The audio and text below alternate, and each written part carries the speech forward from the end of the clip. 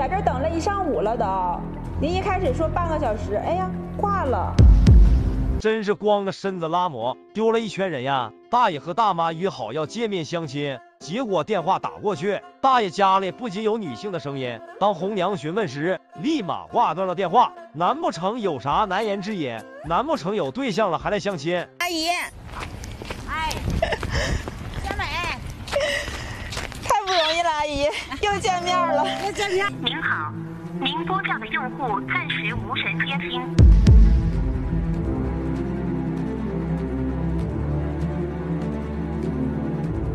九点半到达这个位置，现在都快十点半了，叔叔，您刚才是有什么事儿了吗？嗯呐，家里那啥，得去那个上长道交交电费去了。嗯。那您还得大约多长时间能到？您看得啊，半个多小时吧。下午交不也行吗？明天交不也行吗？那也不是说今儿不交今儿就给停电。这是有的时候儿女嘞，还行离婚的嘞，老伴儿。锣鼓一响，咱二人转大妈闪亮登场。虽然咱大妈爽快性格好，可在相亲路上却是一步一个坎呀，这等的黄花菜都凉了。大爷迟迟没有出现，更是表示去交电费去了。对于明白人来说，这可不是借口呀。对于来相亲的大爷来说，一听说有合适的老伴，别说交电费了，就算是家里拆迁，也得跑过来相亲。缘分这种事，一错过就难遇到了。叔叔啊，哎喂，完了，我过不去了，让车给我刮了。车刮了。我坐的公交车下车走走不远，开他他开车给我刮一下子，您刮到哪儿了？刮腿上了，刮腿上了，坐坐在这嘎达了，半拉腿不好使，严重吗？不严重不严重。阿姨，您过来。阿姨就在我旁边，哎您跟阿姨说一说呀。你好，这是古阿姨，古艳霞阿姨。啊这个是张华明叔叔啊。嗯，你咋样了？没事儿没事儿，我一会儿到医院让他给我检查一下子。啊，就这半大腿不好使。嗯，行，你到这看看吧。叔叔，我们就在这等你了。行行，好嘞。是真假呀？咱不知道。我给我感觉他像不想来了，是不是？你今天咋起来这不就不，他就没办这个事儿来呀？对于咱大妈来说，大爷的借口属实是有很多漏洞，一会去交电费，一会又去坐公交，最后还表示出车祸了。总之就是不想来相亲了。这对于正常人来说，明显是故意推脱呀。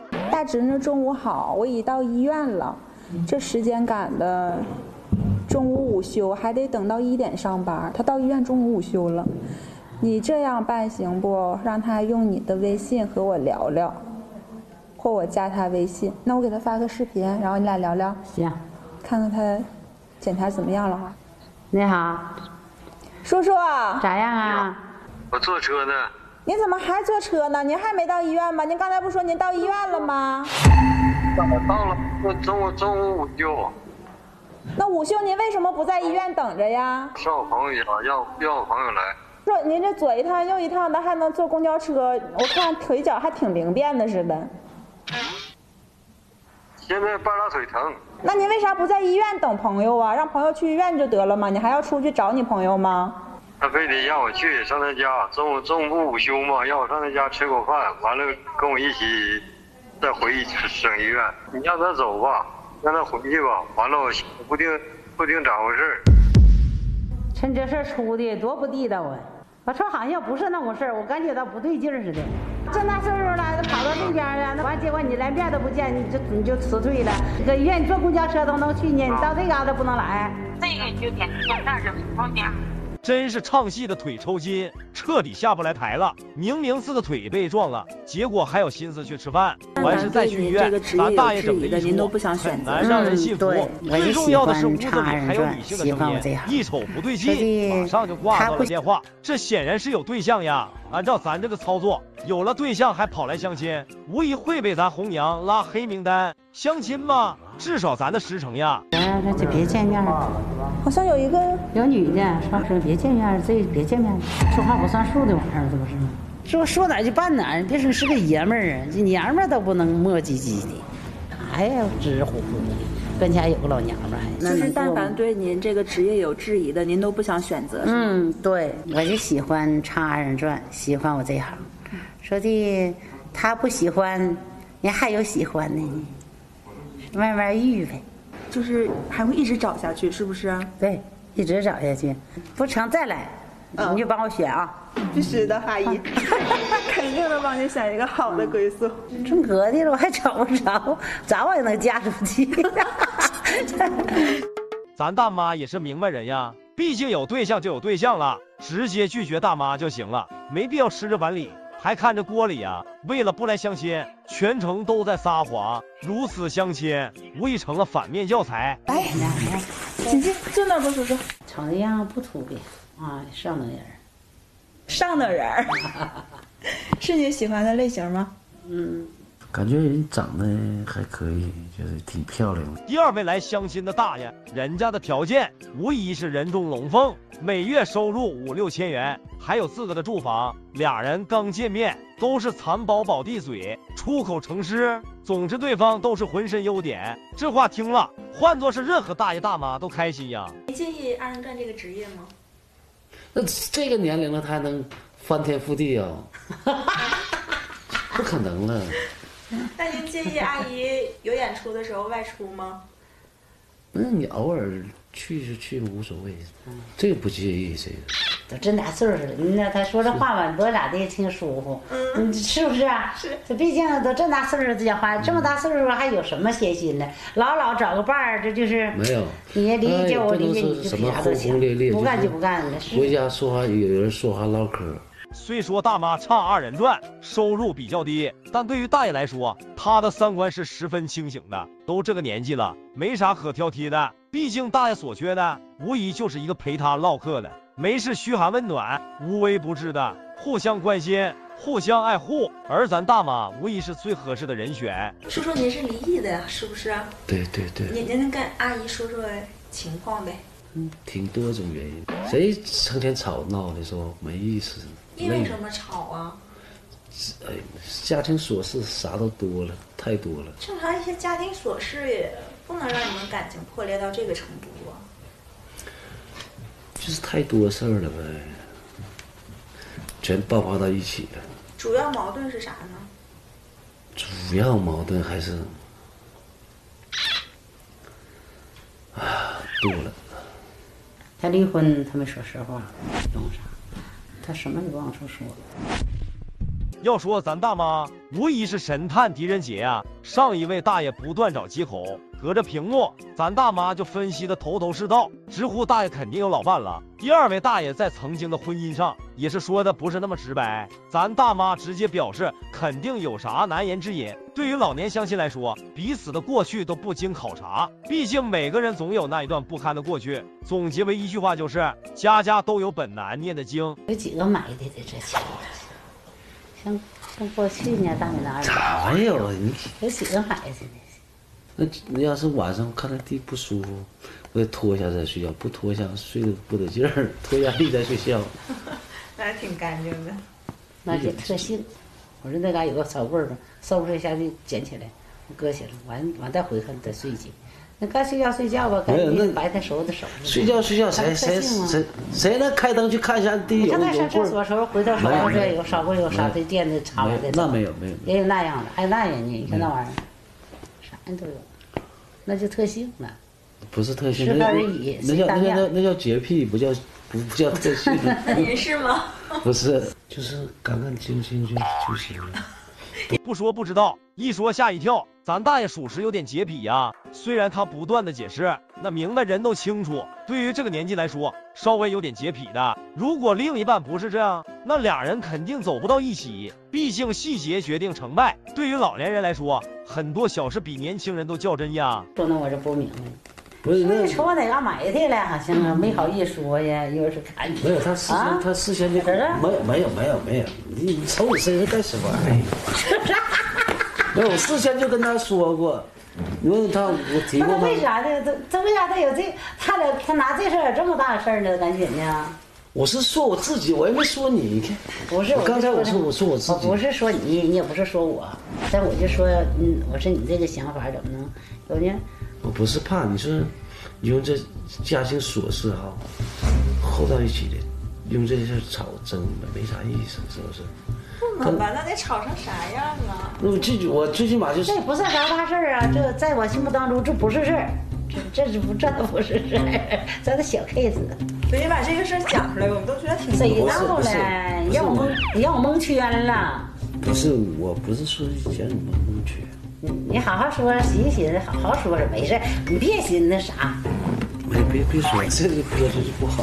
大爷也是哑巴吃秤砣，铁了心不说呀。对于过去的事情，只是稍微点了一些洁癖，可他的洁癖难不成导致了婚姻的破裂？这弄得大妈也是十五只水桶打水，内心七上八下，认为大爷是不是还有啥苛刻要求？万一煮熟的鸭子再飞了，那以后再相亲，属实得等很长时间了。完了，有好的消息通知你们。嗯，要是想喝酒那天，让你们三位去喝酒。哎，好，那我就提前祝福一下，我要期待那一天。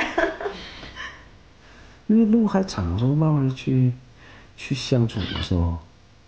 那您是，到底是喜欢还是不喜欢？有一个态度。喜欢。喜欢啊。嗯。就是可以相处，是吧？对。这段时间我寻思，没啥大问题，就是往前处看着处。我看就是对我啥呀？聊着看吧，也因为今年不也他也定不下来。嗯。能迈了就定下来，这大岁数迈一步，哎呀，可不是那容易。嗯。不看破白头到老。弄到最后，咱大爷依旧是不张嘴呀。当然，大爷也解释的十分清楚，此时所承诺的无疑是空头支票。俩人是否合适，还是处处再说。我这一天我都门都不能登你的。那不那个了，你把你自己。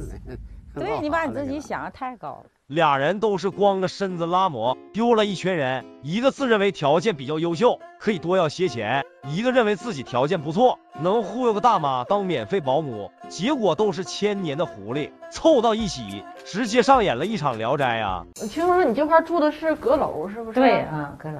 那咱上去看看去呗。走吧。啊，走吧，姨，你领路。就高仓库了，就大仓库。那这要是正常住人的话，其实也够住，是不是？嗯，够住，俺也没住，这就是仓库。你这堆的造的乱七八糟，这堆的都是啥东西呀？全是货，衣裳啥的，鞋袜子啥都有，乱七八糟的，都是卖的，都是卖的货。你住哪儿啊？是住上边，顶着那层。啊，哎呀，哎呀，这有点转不过这身来。换碗啥乱七八糟什么的。哦，在这上面是个床。对，在上面住啊。妈呀，那这天天上下，嗯，挺我这一个人，我都别说下，别说上床，我上树都都轻松。刚进门，咱红娘都懵了，知道的是家，不知道的还以为是垃圾堆呢。咱大妈脸上抹得很白，有着化妆的时间，何不如把家里打扫一下嘛？这环境，老鼠进来都得迷路呀。万一找个优质的大呀，光这环境都得吓退人家。那时候我就干那个刮大白、喷漆啥的。刮大白、喷漆，对，这不都是装潢吗？那你现在干啥呢？就平平淡淡的。嗯。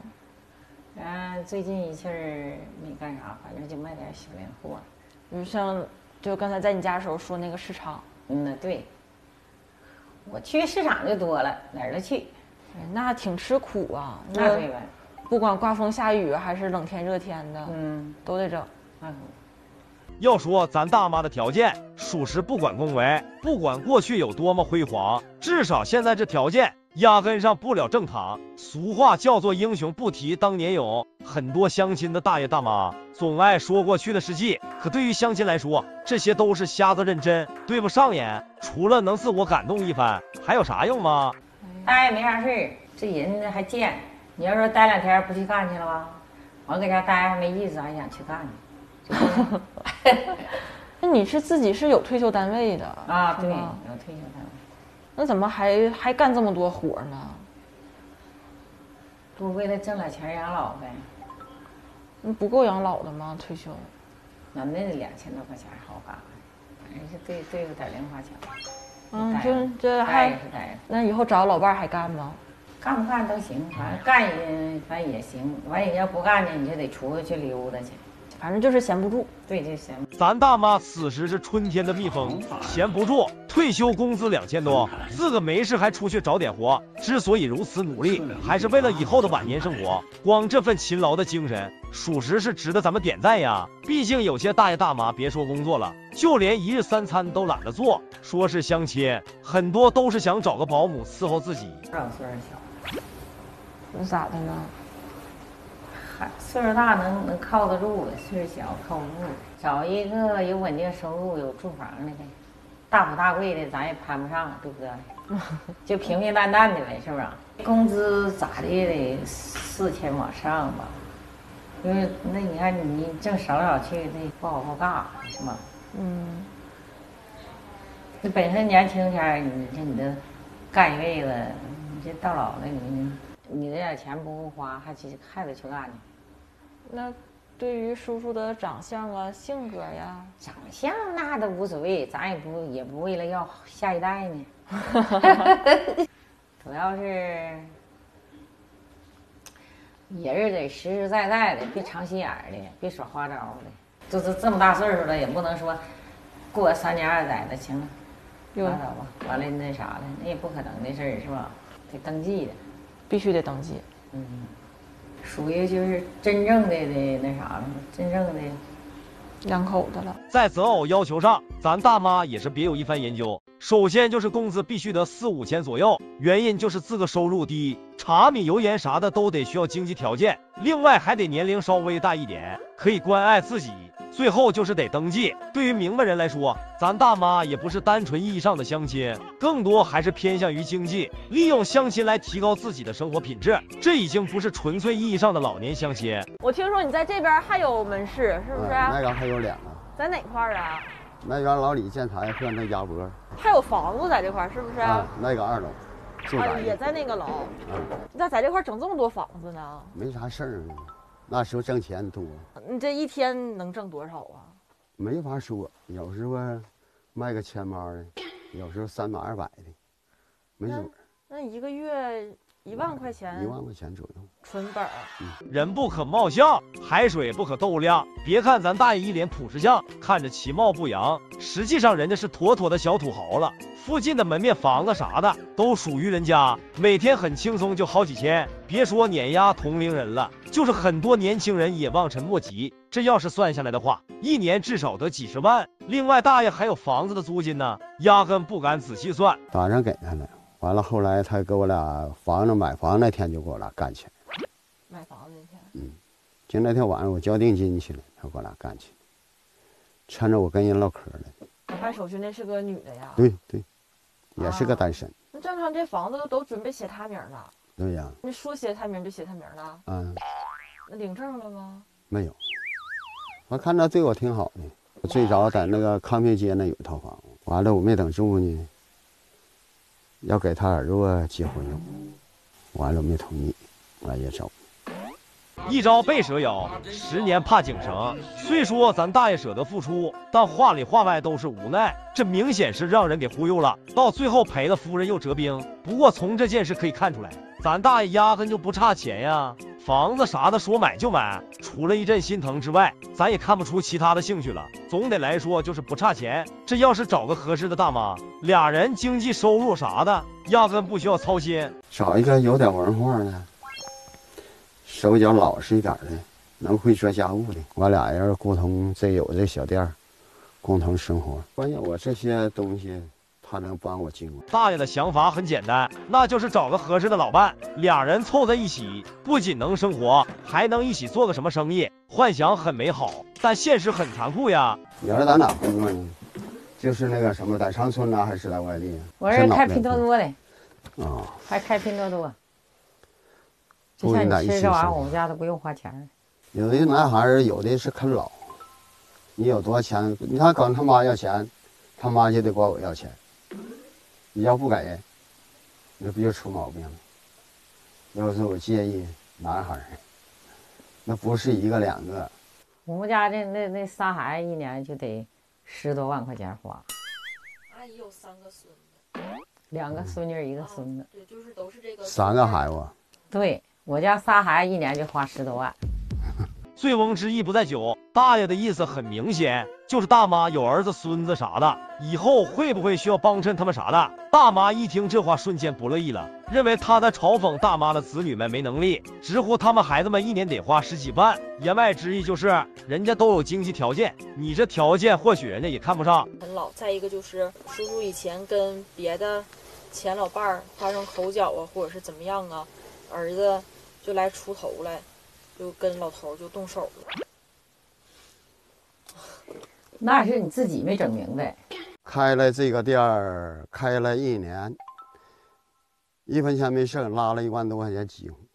那是让让女方给都在他那儿，他都都让他拿走了。那是跟你耍心眼儿呢，比如。你不知道吗？那要那样式的话，就没想跟你长过下去。你不知道，我是石头对他。基本钱都归他管。打比方说，说你挣的钱和我的钱，搞到一起，完了呢，存花不了，存过日子啥你的他的。你有病你花，我有病我花。你先死是我的，我先死是你的。反正我是，我原则是这个样啊。咱大爷之前吃过亏，在说话方面无疑是旁敲侧击。不过对于大妈来说，无疑不是那么礼貌呀。毕竟俩人只是好好的相亲，说话咋能嘲讽和暗示呢？被别的大妈给忽悠了，又不是被自己给忽悠了，搞得像他也是这类人一样。当然，大妈也说出了自己的观点，那就是收入必须放在一起。大爷一个月好几万呢，咋可能会和大妈放在一起呢？一个月是吧？还得给个两千。这六十多岁老太太一个月也得给两千多块钱是吧？不何还何况贴身保姆，那贴身保姆一个月不得给人三，必然的得给人三千多块钱。你再不给人钱，谁干呢？那谁白白那啥呀？对吧？但你要想找的话，你就必须拿出真心来，你就必须有大度。你要没有大度的话，你要想说我就供你吃供你住，完了呢额外就给你两零花钱儿。那除了啥呢？除了这老太太愚弄，啥也不是。现在这人大部分都是。那也像你们说那我这单位，老年人没单位这么些人，我这单位这么些人，我都就这种情况下太多。百家姓去掉赵，张嘴就是钱。咱大妈也不是正儿八经来相亲，就是想以相亲来提高一下生活品质罢了。话里话外都围绕着钱，不断暗示大爷必须得花点钱，直呼外面的保姆都得好几千，何况自个还是贴身的。按照他的意思，就是完全利用相亲再就业啊。我想找的，必须得是啥经济透明，说的我的钱、你的钱必须放到一起，然后这个钱归我经过的。说你先死这钱，你有病这钱你花，我有病我花。你先死这钱是你的，我先。我，你先死，这钱是我的。我原先就像你说的，我就这么干的。完了结婚，我连吃饭钱都没了。干过这事儿，分文没有，挣多少钱都他经过着，经过完了台票一走，我没在家，全拿走了。那你也能找着他呀？找着有啥用啊？找着你钱给我拿回来。给你拿回来？你不拿我哪管打了卤子？咱没那能耐。女人经济经过钱，我现在是。一万个不放心了，不可以！你要我七八套房子都给你，那不可能吗？不可能！哎我想那儿去了。那不想着你不说你说得你当家吗？那你当家，现在这咱家假如说我这房子收房费都得给你，你腾家走了。我不傻逼呢吗？大爷的想法也很简单，就是找个老伴，一个月稍微花点钱，只要在接受的范围就行。但大妈属实有点贪婪了，直呼要接手大爷的所有财产。要知道大爷八套房子，一个月好几万的收入，那财产至少也得几十万，压根不够能交给咱大妈呀。不可能！你听我说，大哥呀，就你这俩钱还不都我工资钱？我做驻场经理，我做驻场经理有工资，我退休还将近三千块钱。那为啥你要经过钱呢？就你这店这钱，我可能跟你吗？开玩笑吗？不跟我，你来干啥来了？这不就是来介绍来看看吗？你说这玩意儿说的，看这不是来看看吗？我咋？我要是 大哥呀，我要跟你的话，打比方说，我要跟你的话，你就得给我经过钱。你不给我经过钱，别说像那老太还跟你过呀，我这一天我都门都不能登你的。那不那个了，你把你自己，对你把你自己想的太高了。咱大妈也是白娘子喝了雄黄酒，彻底露出原形了。一瞅大爷戒备心太强，马上就真面目了，直呼没相中大爷，以及自个的条件比大爷优秀。在他的眼里，大爷可能就一个杂货铺，一个月一两千左右。可殊不知，咱大爷是彻底的大款呀，要财产不成，俩人最后还吵起来了。如此相亲，属实是鼻孔喝水，够呛呀。我啥我不做饭也不洗衣服，这一辈子我不会做。那谁做呀？等你说啊。真是八仙过海，各显神通呀！咱不会做，可以学，把懒惰不上进说的理所应当。咱都孤身一人了，咋说也得照顾好自己。这突然出来相亲，明眼人都知道啊。大妈需要的是保姆，可不是老伴。我看你脸上都没啥皱纹，不像七十四岁呀。嗯，对，俺他们都说我不像，像六十多岁，但是岁数搁这呢。啊，嗯。都说你像六十多岁，对对对对对，一出门是不是都问你啊？对，问我一开始问我多大岁数，我说我十岁，他们有点不太相信，他说糊弄我吧。我好像一天天不搁家待着。为啥？那你上哪儿啊？我玩去啊。啊，上哪玩去？我说今天一日游，明天两日游，泡温泉啊，很少搁家待着。我我一切费用全是我儿子出。啊，就是什么？采暖费呀，管理这反正一切一切吧，就是花销都是我儿子开销。要说咱大妈的条件，完全是捧着鲜花坐飞机上，美上天了。一个人生活在一百多平花园洋房里，没事旅游还泡温泉，生活别提多么有滋有味了。所有的开销全部咱孝顺的儿子买单。既然都已经做到这地步上了，大妈完全可以找个保姆呀。不过大妈却想找个老伴，这显然让人有点不理解。我啥我不做饭也不洗衣服，这一辈子我不会做。那谁做呀？等你说啊。他下班市场买菜，买完菜兜子一挂，衣服一脱，进厨房一扎围做饭。我就搁那看电视，做好饭了，招呼吃饭，他都承认了。哎，吃完饭我就是干啥呢？刷碗和收拾屋子是我活。当时是因为什么去世？心梗吗？突然的。那天他去世那天我还没在家，他中午出去吃饭，就搁这儿啊？就搁这儿到那边到那边去吃馄饨。第二天我才接到信儿。不说不知道，一说吓一跳，等于是咱大妈一辈子都是富贵命呀。不过老伴去世后，咱无疑落下了一身富贵病。虽然咱有条件，吃喝不愁啥的，但并不意味着咱条件十分优越呀。除了有个花园洋房外，咱似乎啥的都没有。简单的做饭、洗衣啥的不会，找个老伴等于给咱当贴身保姆呀。现在的大爷一个比一个聪明，咱的想法。为啥要带我看房子啊，叔叔？你说明你你叔吧有点正事啥意思呢？嗯，我这辈子给给子女啥的留下点家产。最近孩子又给买点啥呀？哎呀，那个吃的，你看那个大虾，我记得今上午打扫的。啊，大虾。那你你看那个不是。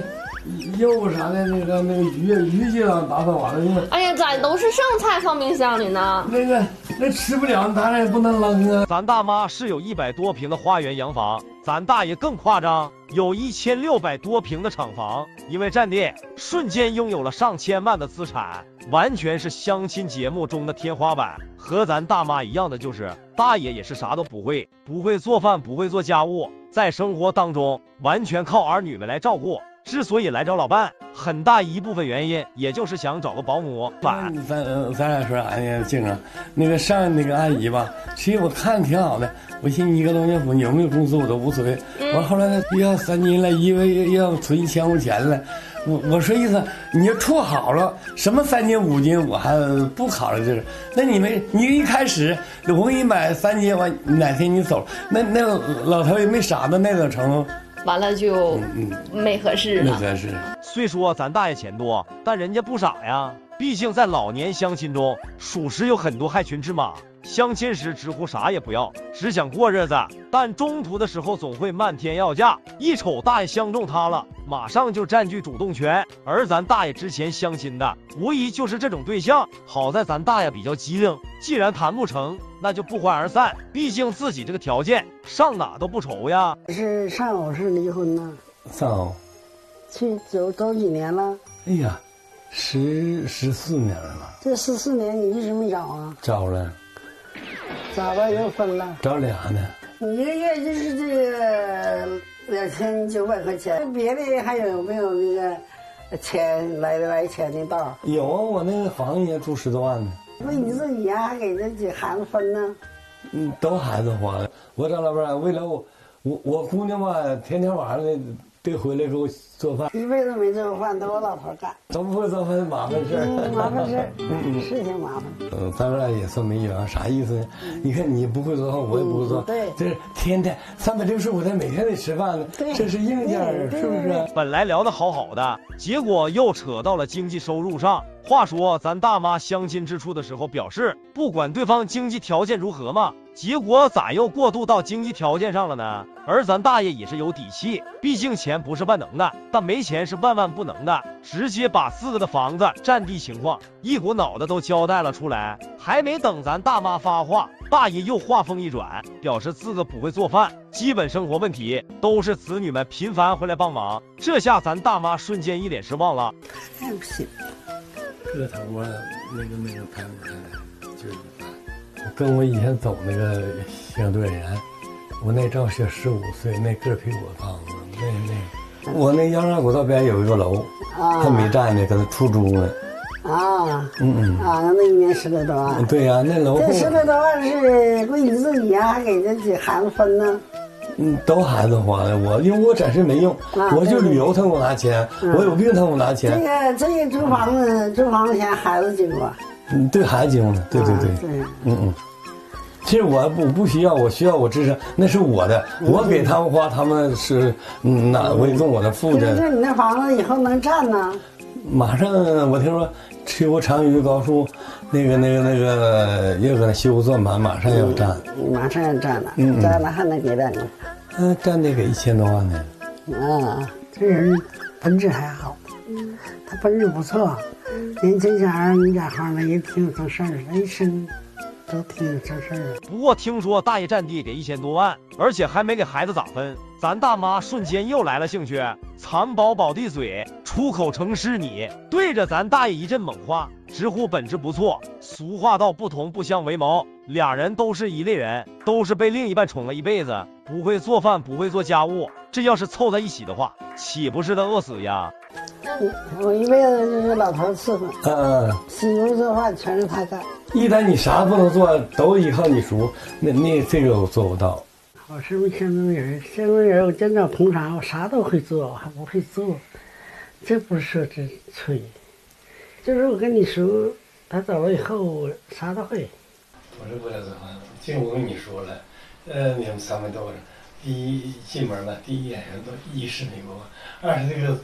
不会做饭，这是一男女同志不做。行，那那女孩，这是我第一呢，你弟不熟不熟，我能不两全？真是八仙过海，各显神通。一瞅咱大爷想当上门女婿，咱大妈瞬间成了身无分文。毕竟咱大爷也是惯犯了，只要相亲总想倒插门，连续相亲七八个了，一直到现在都没成功。张大哥，你好，等一会儿啦。十分钟。等十分钟了，我寻思你下车告诉我过去接你去。那 那我知道地方在老家，你接我，我心里头知道地方自己就来了。是的呗。还是上次坐那趟车吗？是，应该是。啊。今天是个不幸的万幸。怎么啦？今天从家出来晚啦？嗯，晚一小会儿。哦。那个花镜落家了，走出一百多平米，一百。多米远，我又回去取的。哎，用不上花镜啊，咱出来。那我要看字儿呢。啊，看啥呀？又带材料来了。嗯，那那倒无所谓，材料不材料的。呃，没少穿哈，冷不冷啊？这姑娘才给买的，哦，超过五天呢，我这么穿着吧。啊，新给买的衣服。嗯呐，嗯，要不今天挺冷的。不冷。嗯。锣鼓一响，咱倒插门大爷又登场。要说咱大爷呢，也是八十岁吹笛子，尽是老调子，别人相亲一两次都完事了。咱硬生生成了钉子户呀！虽说咱大爷屡战屡败，但人家越败越勇呀。至于是否相亲成功，咱还是骑驴看唱本，边走边瞧吧。大哥，你今天又背了包，你这又又有啥准备呀？你都带点啥呀？啥惊喜没都带？咋的了呢？哎呀，咋的呢？跟李大姐没相亲成功，有点受打击了。受打击，该说不说，我都是一心护实的，一心护实的，真心实意的。后来我也想了，剃头挑的一头热，那是不成方圆的。这个我懂。就你们红娘摄像师，啊，实心实意的给我们这些老头老太太介绍伴侣，但是呢，看过这些次节目上啊，嗯这个演员二字包含的相当深奥了。大姐后来跟我说了，说的那个。说的你太健谈了，她觉得这性格不太合适。不是那，她跟我是说的，就是担心我前老伴儿。对。说起之前的相亲故事，咱大爷也是一脸无奈。在之前的相亲节目中，咱大爷也是拎着大包小包来，又是礼物，又是生活用品，结果接连碰见好几个情场大妈，倒插门没成功。结果时间金钱都给浪费了，到最后还是独自一人呀！啊，要买水果啊！你下车就走了，我寻思你要干啥去呢？另外吧，咱俩你看我都怕你们摔了，底下都是冰啊！走吧走吧，那就这条件。嗯，干啥要去买点水果啊？买点水果啥的呀？准备买点啥呀？嗯，苹果。梨、橘子，好的呗。这俩苹果哪个？这个两块，那个三块。这个是好的吧？对，咱挑好的买。不是那个。嗯嗯，不是。再再装点别的。这葡萄哪个好呢？红宝石好。哪个哪个是？东边那红宝石。这个蓝莓十二，这个五块。这个呢？这个那个十二。这个是五块的。这个是十块的。哎。我瞅它这外表，水了吧叉的，那不就那样的。这肯定很甜。这个几块？这个五块。这个包装挺好。来这个。别说，你这也有让天头奉送的吗？俗话叫做千里送鹅毛，礼轻情意重呀。别看咱大爷倒插们的想法很强烈，但只要相亲，人家绝对不会空手去。毕竟细节决定成败，不空着手去，给人的感觉都不一样。万一误打误撞的成功了，那岂不是解决了咱大爷的燃眉之急呀？不过依照咱大爷的相亲惯例来说，依旧是鼻孔喝水，够呛呀。你在家忙啥呢？看电视呢？嗯那没有什么忙的，昨天在家有啥忙？是吧？没意思一个人，是不是？嗯。在家平时都看啥节目？就看二人转，就看二人转，看二人转呢。嗯呐，就是我们频道呗。嗯呐。啊，看过我们节目？看过。儿媳妇给报的名，是？俺家儿媳妇给报的名。儿媳妇处的可好了。你儿媳妇孝心呢。嗯。我也有时候也不怎么在家，经常长春。上长春儿子。上海了那去。啊，姑娘儿子都在长春。都在长春。嗯。没在家没意思，就上长春待几天。那这楼房是你自个儿买的，姑娘儿子买的？这楼房是我的。你的，你名下的，要我名下的，你挺厉害呀！这个就关心房子的事儿哈。那你看看，那我住住宅是大事儿吗？这屋挺宽敞的，多大面积啊？六十四，六十四平。热呢，我把帽子摘下来，热了。热了哈。那你形象嘛，仪表嘛，你对人家得尊重啊，对不对？虽然说长得磕碜，自个儿也饬捯饬呀。人各有自知之明。大哥，进屋看看。对，我就在这屋住。这屋北屋啊？这屋是北屋。啊，那咋不在南屋住呢？真是光着身子拉磨，丢了一圈人呀！咱为啥相亲总失败呢？或许这就是原因呀。上来先问人家房子产权，这些小心思啥的，完全是写到了脸上。俩人还八字没一撇呢，咋光想着占便宜？不过话说回来，咱大爷是想当上门女婿的，房子自然是个大问题。哪个楼房都有。原来没想着，嗯，个人心里也挺自由的。完后来就有一回闹眼睛打药，大夫就那。那时候，嗯嗯嗯，给我打药就打岔了，妈给我打连拉带吐。哥呀，你说这他爸就不行了，这屋一个人没有，多危险。完了，我把我给我侄女打电话，我侄女来陪我一宿。嗯，就从那之后才有想法，才有想法，要不的不打算。嗯。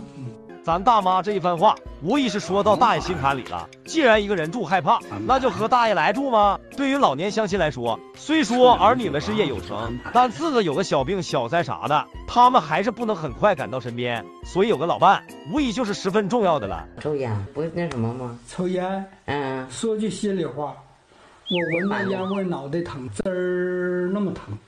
但是呢，假如说咱们走到一起了，我。为了你的健康，我的健康，咱把烟戒了。你想吃啥，我每天供着你买都可以。那我也不能说，因为说就是找个人把把烟戒了，就是一经本一点一点的，就咔哧一记，那是坚决不不可能的。这我懂。这样俺家孩子不用说胖，孩子都得说，哎，我妈我也照都咔把烟戒，这么些年他都没。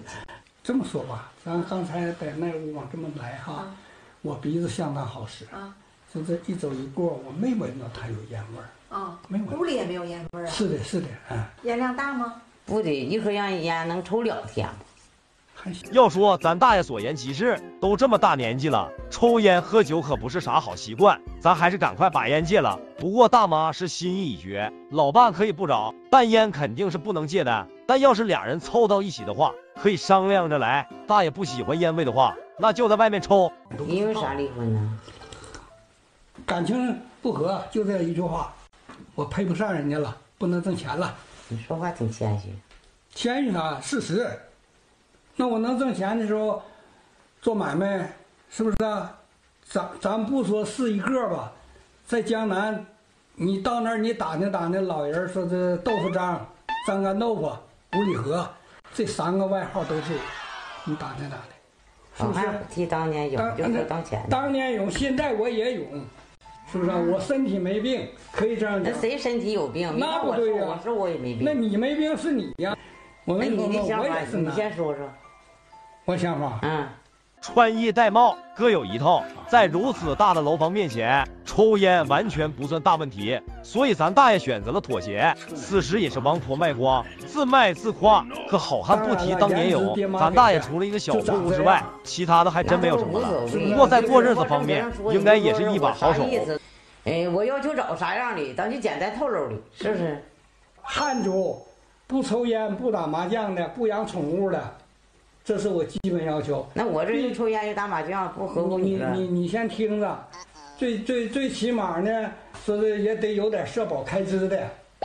我我不说我，因为我自己是半斤八两，我知道啊，是不是？俩人共同在一起，是风助，呃，火威，火借风力呀，是不是？鱼帮水，水帮鱼，把俩人。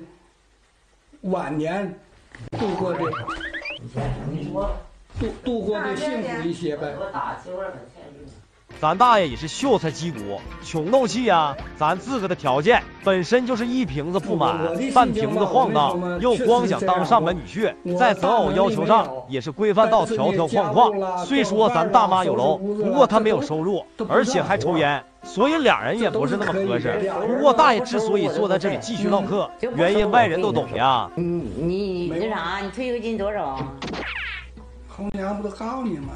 我退休金都一千多块。啊，那够那够俩人生活吗？那反反正不管够不够，我就这些。因为说耗子尾巴生疖子，没多大能事儿。我就是那能事儿，我全盘端，我毫不隐瞒，我就是这么直爽的人，全盘端，我啥都不管。你明儿说是上街买一杯凉水，我不带说你去给我买热水的。全盘端一个月一千多块钱，就全端能端上多少？全端能端上多那就端这份儿。那多大份儿啊？对，大大份儿。假如说俩人到一起了，你说有一天在病院看病够啥呀？瞎子认真，始终对不上眼。咱大爷就一千多的退休工资，他的要求也十分简单，此时也不管大妈抽烟啥的，反正就是把退休工资全部交上，然后搬到大妈家里住，这事就算完了。但话说回来的话，咱大爷也是精打细算，一千多块钱不仅找了个保姆，同时又找了个房子呀。十月份我还上上海旅游去呢，你看那我还旅游，那谁不旅游我？台湾、北京哪都去，哪都去。那我还撵不上你呢，那我这姐姐那那照你孩子去的，跟老没有跟老头啊。啊啊，有钱呢，你上哪不能走？这都啥呀？拿来的这是啊？照这个相花五十块钱，一寻思去趟上海别，别白去。我为啥走？想走这一步？张妹妹，你听好了，我就是不甘心，我辛辛苦苦干一辈子活了。妹妹，你看，这是我家的买卖。这太小了，我看不清。带花镜我有带不带？带不了。啊，那边摆了些小吃部，我的。另外，这这个我感到很自豪。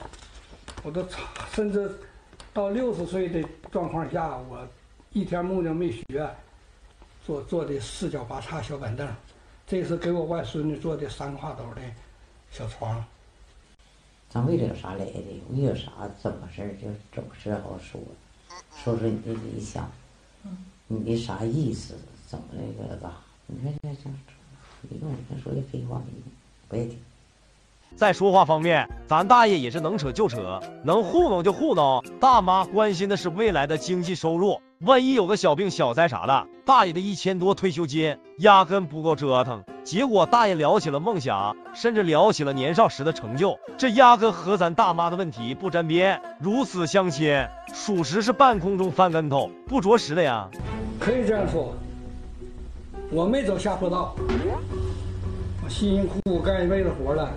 闹个这么个结果，我不甘心，所以说呢，我就想找一个能陪我到最后的一个二的老伴儿。我这是第二的，第四，不像他们有的还第三个了，第四个了，不是这概念。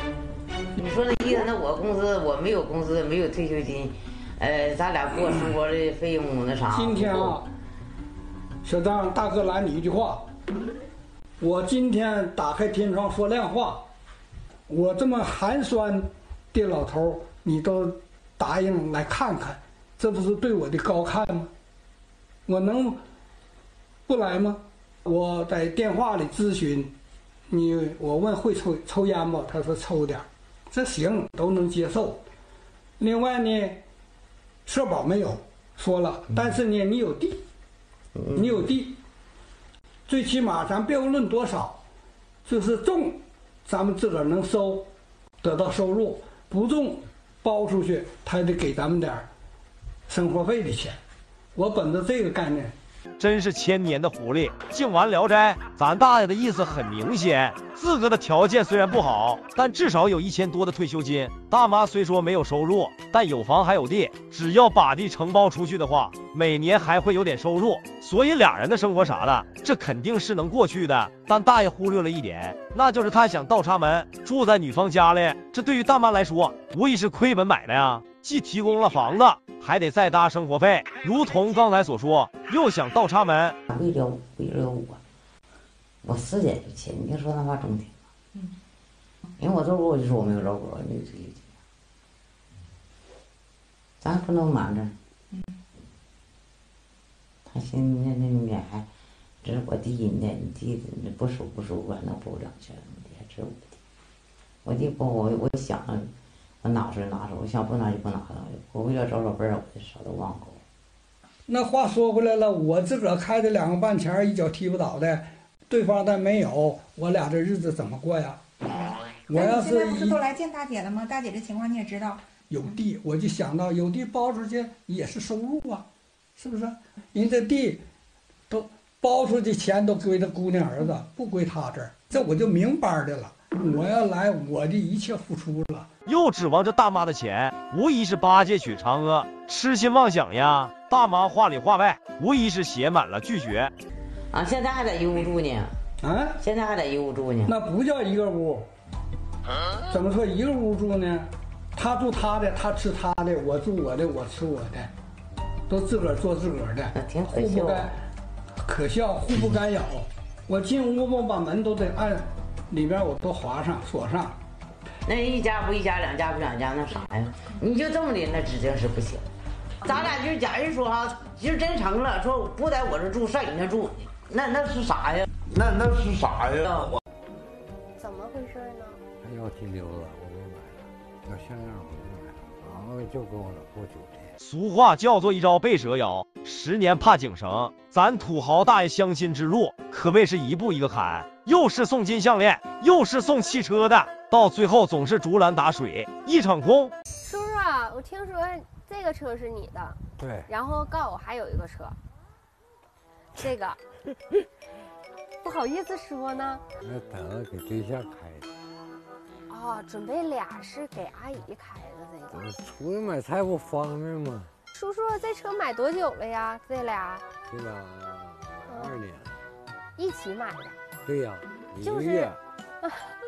就是寻思找个老伴儿。啊，我先买这个，完又玩去了，我又看这个又买一个。啊，那你资金挺雄厚的。就没有钱。咋没有钱呢？这一下买俩车，一般人。钱？咱有钱，嗯，就干别的。俗话叫做兵马未动，粮草先行呀。咱土豪大爷还没开始相亲，都给大妈准备好汽车了。按照这个相亲节奏的话，那肯定是芝麻开花，节节高呀。毕竟咱大爷给人的感觉，无疑是财大气粗，在老年相亲中，相得是眼缘，实际上还是看条件。一个门钥匙，他没啥玩意儿。那这个呢？车钥匙啊，都是车钥匙。车钥匙一个门钥匙，这是门钥匙。嗯，这是那这箱子钥匙。嗯，那您家就住在这儿呗？对，就在楼上。这个楼是母亲的。对我妈给我了。那你现在，嗯，母亲这块用您出钱吗？不用，我俩谁也不收支。母亲自己本身有。母亲有工资，比我多。那咱上楼看看呗，走吧。嗯，行，走吧。这个是不是？啊。奶奶好，儿子今天要相伴儿，开心不？开心。啊，一直担心儿子吧？我就这一个儿子，五个闺女。啊，就这一个儿子。他说家里他都能扛起来。能。要说咱大爷的条件，无疑是芝麻开花，节节高呀！有房有车，还有不错的退休金。按照这个条件的话，压根是不愁找。虽说还有一个母亲，但母亲也有退休金，在生活方面也是吃喝不愁。什么事情是钱的无所谓，你能拿出来吗？我能拿。但你工资我就能拿一半儿。那我天天找重庆，我干啥？对呀，你天天也不着家，我不着家不挣钱，就这么说。你干十二点，皇上搁外头就吃了，嗯，就不回来了。晚上八点钟再回来。啊，叔叔其实是这样的，你跟我谈的时候，你还是有所保留了。对呀，说自，我学会了，我上过当，受过骗。哦，之前还要说咱大爷也是十分大气，在择偶要求上更是十分随意。不管大妈是否三无，只要合适的话，一切都不是问题。在收入方面上，咱大爷也是明显有所保留，原因就是吃过亏。毕竟在老年相亲中，一些大妈也是十分有心计，要是着了他们的道，不仅浪费了时间，还搭进去了金钱呀。就跟我这是他一个，还有我一个同学也是那样，啊，骗我一个这个，啊，耳环，耳环四四四四千，我搁欧亚给他买的。那天晚上给我做个饭，完了总让我领上饭店，我说不去了，搁家吃吧。嗯，完了不愿意了，不愿意我领他上欧亚就买一个耳环，完这乐乐起来了，乐完第二天夹个包就走。咱大爷这一句话，无疑也是反映出了老年相亲的一些弊端。毕竟有一些老年人是诚心找对象的，有的却是醉翁之意不在酒，要么忽悠点首饰，要么就是忽悠点钱。凡是那种相亲中把钱挂在嘴边的，没几个是诚心的。这点对于观众来说，早有所耳闻呀。好在咱大爷也有过经验了。嗯，咱俩坐下来说。来，您坐这儿。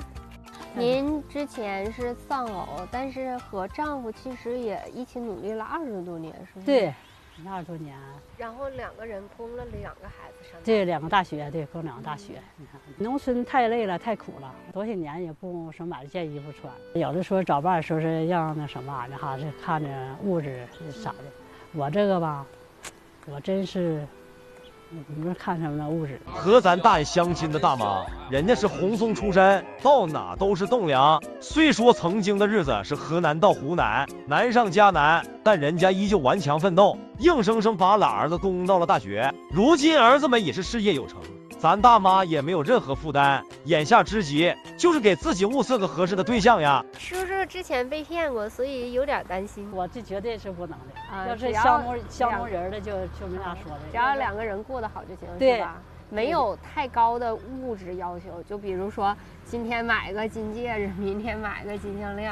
那个咱没什么那么大要求，真是没啥那么大要求。行，我看阿姨也是善解人意的人。然后我跟您一起去找一下叔叔呗，那也行，行，见见行。咱红娘也是长江里的石头，见过大风大浪。因为大爷之前上过当，所以事先给咱大妈提一下醒。要是有其他目的的话，俩人就没必要见面。而看咱大妈的面相，估计也不是那种人，啥事还是得实践见真章呀。择偶标准是啥呢？你看着你顺眼，后有病了能能管一些了，就是家庭事儿这都不用他管。你跟人成家了，就得管你，啥事儿都得管。你要不跟人成家，人管那事儿，你爱咋咋地。要是说说你的话呢？你就是倾家荡产，你得看呢，对不对？你谁让嫁给你了？我说你有工作吗？我没工作，我是农村的。都有啥？那医保我也有啊，退休也有啊。我这个啥也没有。对呀，你啥没有？我没啥，没啥没有。现在就搁家里待着。现在是在家待着，现在这么多年，十多年。我也自己生活，我也自己，个人养活自己。你干啥养活自己？哎呦我的妈！我也没说说。打工。我照样吃照样。你来请我。你别看我没有，别看我没有劳保，别看我没有那个这个工。咱大妈的情况也算是三无状态，所有的收入完全是靠自己奋斗。不过此时上了年纪，生活啥的，大多数都得儿女们帮助一下。不过咱大爷说出去的话，宛如泼出去的水，收不回来了。不在乎对方是否有收入。嗯，就上超市一千两千的啥的啊？我那天推推车子六百块钱，一走一过。别看你哈，你挣工资，你你这个啥的，我这不催你挣工资，不是催。真没想到，他唠嗑的根本不靠谱，你听着了，根本都不靠谱，丫头。说话也没工资，又没有啥劳保的。那税务好仓我也说了，我说你没没看我没有工资，没有劳保，我自己养活自己，我照样。这么多年我都养活自己。觉得他说没有劳保的事儿。对呀，他说保险这事儿让你对呀，他说不舒服。你看我，然后他看他眼缘，我也没看眼缘，我没想到。如同刚才所说，虽说咱大爷残暴宝地嘴，出口成诗，又是不在乎对方收入，又是不在乎对方长相的，真领到面前也是各种挑剔。此时嫌弃大妈没有收入啥的，言外之意。估计也是没有相中。按照这个节奏的话，俩人也是鼻孔喝水，够呛呀。给我做点事来，那个。做你俩中间。他俩不行。啊。再说他也没相中我，我也没相中他呀。啊，你感觉到他没相中我感觉他不行，我感觉。你感觉到他对呀，没相中你了。一不让我抽烟，我彻底就烦。都觉得不咋。合适，那一会儿就是坐下来好好的，就认识一场呗，是不是？也别那个闹太僵。合适，不能闹僵。我觉得你俩挺不合适。俩人此时都是针尖对麦芒，谁也不让谁呀。大妈虽然没有收入，条件啥的没有大爷好，但人家一点也不自卑。既然都没有相中彼此的话，那强扭的瓜固然不甜。不过红娘的意思就是，还是先好好唠唠，万一有转机了，没转机咱也得礼貌退场，不仅给对方有个好印象，也得让观众觉得咱靠谱呀。哎，真的，正好就是今天别住这个。人买水果，我跟着我不，我不懂这事儿啊，得亏亏人家，我就给他五百块钱，完你你偷摸给他得了，那他买水果也花不了那些钱呢。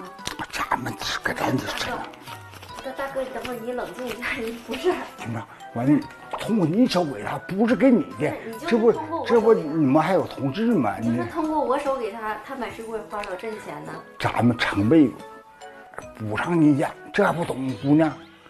哎。好吧，这这这这有啥不好的？有啥不好？那树歪，哎，别给别给少就行，别少。他说：“你给大姐拿五百块钱。”我不要钱，要钱别让大姐大发上。不对不对不对不对不对。除了咱这位大爷之外，咱这位大爷也是十分大方呀。别的大爷相亲买个车当礼物送，人家是相亲不成功，直接给大妈掏钱当路费。这些行为虽然看起来很土豪，可树大招风，又是送车又是送钱的，未来主动来的相亲大妈，那想法啥的，可想而知呀。结合咱第一位大爷的经历，咱还是得反思一下，那就是相亲还是得传老大做后招，见机行事吗？叔，你你别光顾吃啊，你跟姨唠唠嗑啊？怎么唠？咱红娘是急得热锅蚂蚁，团团转，而咱大爷只顾埋头干饭。相亲大妈如同空气，只能静静的注视他。知道的是相亲，不知道的还以为来参观大爷吃饭呢。你这整的真香啊！木耳、白菜片白菜片嗯呐，炒肉。这锅是啥呀？这锅排骨。这锅排骨，哎呀，看着熟肉排骨啊。炖好了。这早上现做的呀？啊，做好了。这是我们来特意整的呀，主啊。哎呀，叔，你这也太热情了！一天几顿饭呢，叔？三顿饭，顿都不打，少吃一顿都不行。好了，好了，好了。哎，出牌了。那你平时去饭店吃饭吗？我一个人多，咱也不上饭店。这你个人搁家想吃啥你就做点啥。啊，就啥都会做呗，叔。对。那叔，那面食啥的会整吗？面食包饺子、蒸包子、蒸馒头、打饼。啊，烙个酥饼啥的。烙酥饼啊！嗯呐，就像他卖那个。这里头豆浆，嗯，这个好了吗？好了，一会儿过出来。真纯呐，这豆浆。嗯呐，这里头还有那个枸杞。你这颜色跟外面卖的就不一样。那这浓度，它它它它它没高那些水呀，他卖那个，他就为了挣钱，多搞水。叔，你这豆浆真香啊！闻出来了。闻出来了。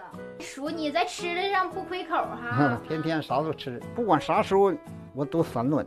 说你这自己一个人生活，首先来相亲的大爷可谓是红松出山，到哪都是栋梁，上的厨房，下的厅堂呀。对于老年相亲来说，有很多大爷们的生活也是能凑合就凑合。不过看咱大爷的生活态度，属实是十分乐观呀。至少人家吃喝不愁，自己动手，丰衣足食。我看你吃饭挺香啊。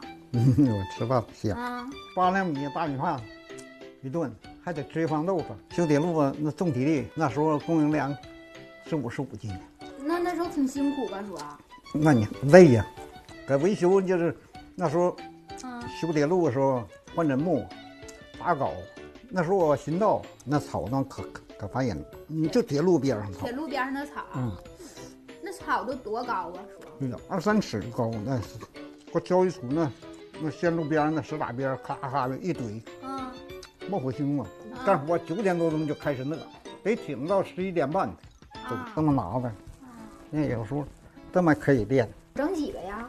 也没准儿，反正有时候我还这么的练。现在身体挺好的呗？现在还行。知道的是相亲的，不知道的还以为是咱红娘来蹭饭的。刚见面就是吃，相亲过程也是吃。从这些方面可以看出，咱大爷也是妥妥的吃货呀。当然能吃能喝，无疑是件好事。至少身体健康的门槛，大爷显然很轻易就达到了。只要条件合适，那肯定是闭着眼都不愁挑。那你儿子咋说的呀？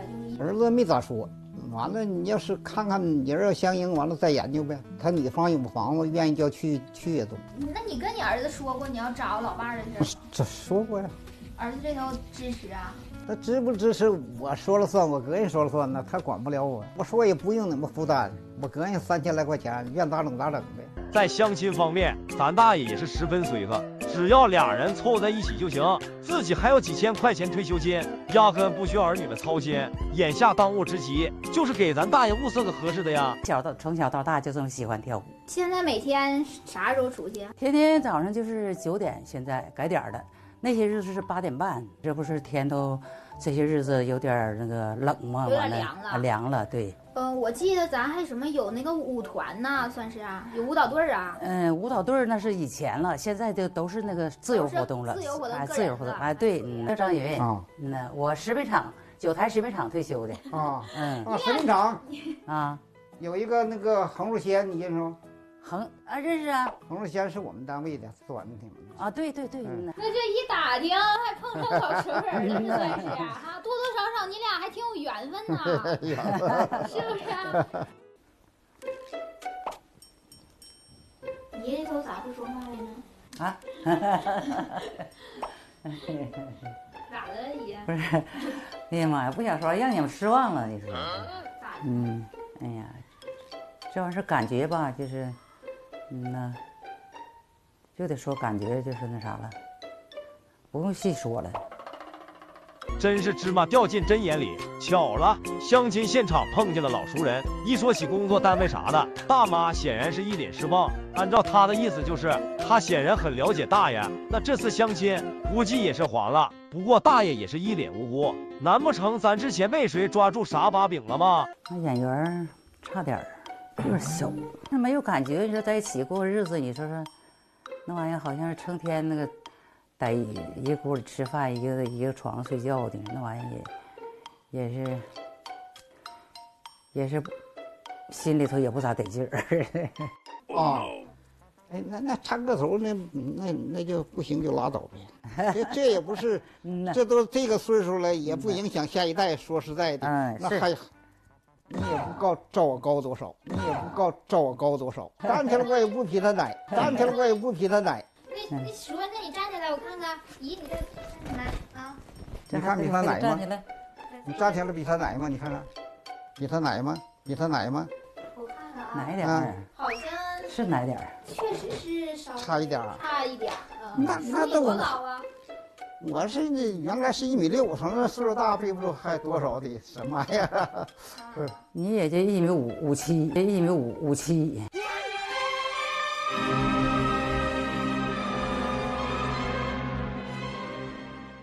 没事儿，哎呀妈，你你，哎呀妈。你这个岁数，道不同不相为谋。对于咱大妈来说，压根没相中大爷。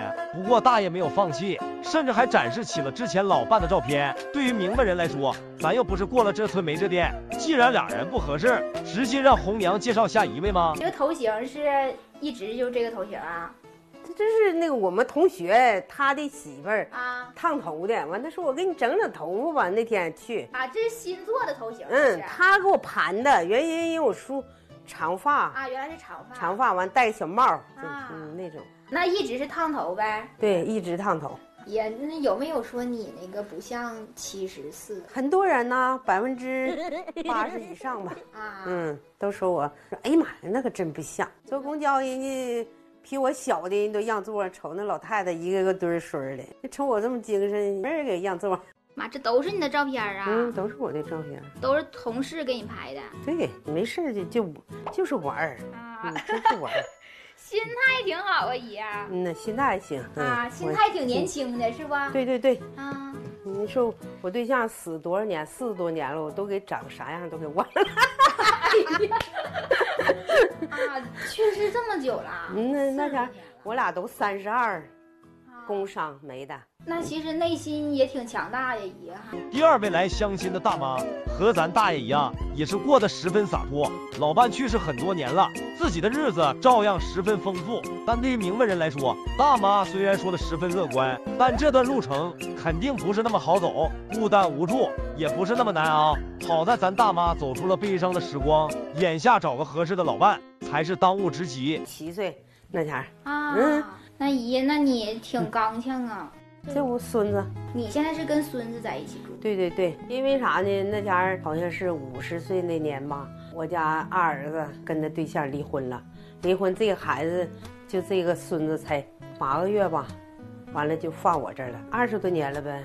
孙子八个月就是你抚养？对呀，完了多大？现在二十三了呗。二十三，上班没？上班呢，他父亲也得管。嗯，我得管点儿。我现在也没啥管的了，因为啥呢？我给他房子了，换个房，换一个，就是那个电梯房子。完了就一下到位了，就是我死了就给他了。那我我这都我走了都给他了吗？嗯。二走了之后，属于为儿子，是为儿子赚。嗯，完了又为孙子，为孙子赚。嗯，为儿子活，为孙子活，都为他们活。哎，我说我谁都能对得起，就对不起我自己。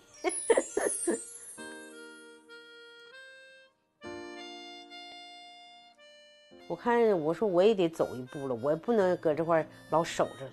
我这这青春都献给他们，我得为我自己活一把了。要说咱大妈也是个女强人，老伴去世很多年，但自己一直没有找，主要还是为了拉扯儿子。儿子长大后，又帮儿子去照顾孙子，如如今儿孙满堂，大妈终于开始寻找属于自己的幸福。其实咱大妈的性格十分乐观，说话也是十分爽快。按照咱节目的惯例来说，这类人无疑是最吃香的。哎，叔啊。到哪了，天天？哎呀妈，到到你快到你家楼下了，已经到你家楼下了，着急了，说姨就在我旁边呢，马马上就见到了。好了。烙手饼。等姨尝尝你的手艺。行，嗯，好嘞啊，族厨艺好，嗯嗯，面食啥都会捅过，嗯，你不就想找个会做饭的吗？是不是？翟叔会做饭这一点，已经在刘姨心里加了一分，不知道两人见面后会不会牵手成功呢？叔啊，哎，哎呀，我们都进来了，叔啊，进来了，哦，哎呀，烙烙的手饼，你看这桌子摆上了，演员咋样？就是说挺满意的。演员咋样？演员还行。啊，嗯。爷，你过来看看，跟啥似的，整上了，还不嫌费事呢。刚烙上完我就闭火了。妈糊了。那火不着了呢吗？着呢吗？哎呀，着一糊烙着了呢，不是糊了吗？我还先闭呗。我也不说，他不知道，还搁那个放着。就是咱们一来。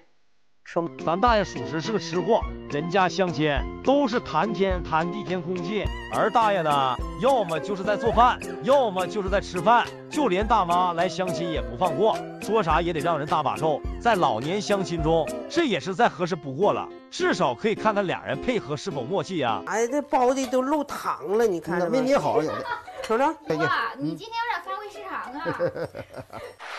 男的做啥的不细心。但是他会烙这个，会做，嗯，是不是也挺好？是，假如说是说我要有个天灾病业了，他都不会做，你这不是干着急？是不是？人家他会做饭了，你给你下点汤了或什么面了水了的啊？啊，汤他都会做，是都挺好的嘛。都烙糊了，你不糊就糊吃呗。有烙完的，要不你让姨尝尝你这手艺。你吃一个，烫吧？不烫。不烫啊，熟不熟也不知啥样。照你趁热吃嘛，趁热吃，给个评价咋样？你甜不甜？挺好，嗯，挺好啊。人品真好，挺甜的，挺甜的，那就是好。你不尝尝了？不尝。啊。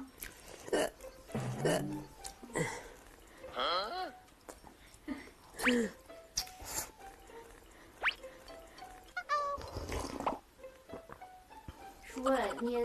你别光顾吃啊，你跟姨唠唠嗑啊，怎么唠呢？那个，你让他先吃吧，那那嘴忙着呢。要说咱大爷的饮食规律啥的，可谓是十分健康，一天三顿饭，一顿都不能少吃。大妈坐在边上，人家依旧只顾埋头干饭，如此操作，多少有点奇葩呀。好在咱大妈也理解，也许咱大爷属实是饿坏了，还是等他吃饱喝足后，咱再相亲吧。那是一个人，你也是一个人。那我不一个人，我找 找老头干呀？我又不是搞婚外恋的。不是，我那个，哎呀，多大面积房子？六十二，没你这大。他真能吃，看那样是吧？也不择食啊。那个吃的也挺香。那的。不怕姨里头有什么想法啥的？我不怕那事儿。你不会觉得什么挺不尊重的什么的？那都没事儿，他他愿意吃吃去呗。你这个房子，呃，是你的名啊？是你？不是，我儿子，我儿子买的。你找老伴了，你这房子，那你儿子再要过去呢？不是，反正要是居住行。嗯，完了，我再跟儿子儿媳妇都问问，搁这住行不行？如果跟姨真成了的话，姨要是想住这儿，你得问一下你儿子儿媳妇的意见，是吧？啊，对。啊，那你觉得你儿子儿媳妇能同意未来老伴儿住这儿吗？能差不多。就是说，允许咱们在这住，你你别别往出撵就行。咱大爷的随后一句话，属实让气氛跌到了冰点。估计当时大妈气得都想走了。别人吃饭都是进到了胃里面，咱大爷吃饭咋进到了脑子里面？人家要不是一个人的话，咋会跑过来相亲？难不成真是婚外恋呀？如此相亲，属实让人看得心惊胆战呀。姨这头他那房子是给孙子准备的啊，就是如果要是住，也就是暂时住，嗯呐，知道吧？那就得住到那个他孙子结婚之前。嗯，我看看我儿子，我最好是搁家。啊，实际我不愿意走，我这嘎出门方便，我还愿意搁这嘎住。你还愿意在这块住是吧？你也希望未来老伴儿跟你一起在这住，是不是？你就问问他。跟跟他儿子研究研究，完了同不同意，是不是？就瞅着眼缘啥都还行，就差这个住哪儿这个。嗯，目前看来两个人对彼此的眼缘啥的都挺好的。嗯，是不是啊？总行不行？相没相中我？相中了，相中了。咱大妈是宰相肚子里能撑船，对于咱大爷一系列奇葩的操作都给予了理解。在生活方面，俩人也是十分随意，彼此都有房子，不管去谁那里住都行。不过咱大爷还是不想走，接下来就得看如何去聊了呀。啊，那个那啥，住没事无所谓，嗯，只要你俩就是说能那啥就行。嗯，这老头岁数大了，对，互相互相照顾。对对对对，嗯，姨身体可好了。我这一个牙都没掉呢。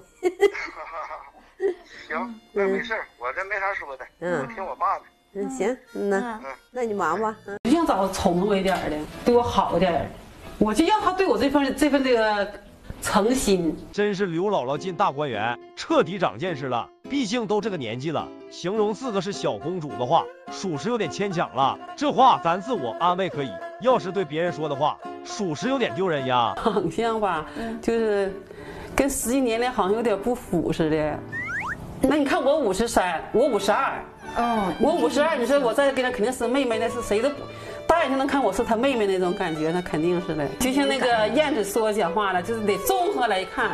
哦，综合来看，这样还是不错的，不能说呃各一条框框那么看。嗯，总体来看还是不错的，要能要能让你们过来吗？这么辛苦。那综合来看，那我就听明白这意思了，那就是有好有坏，然后综合一打分，觉得哎，在我这关过了，是不是？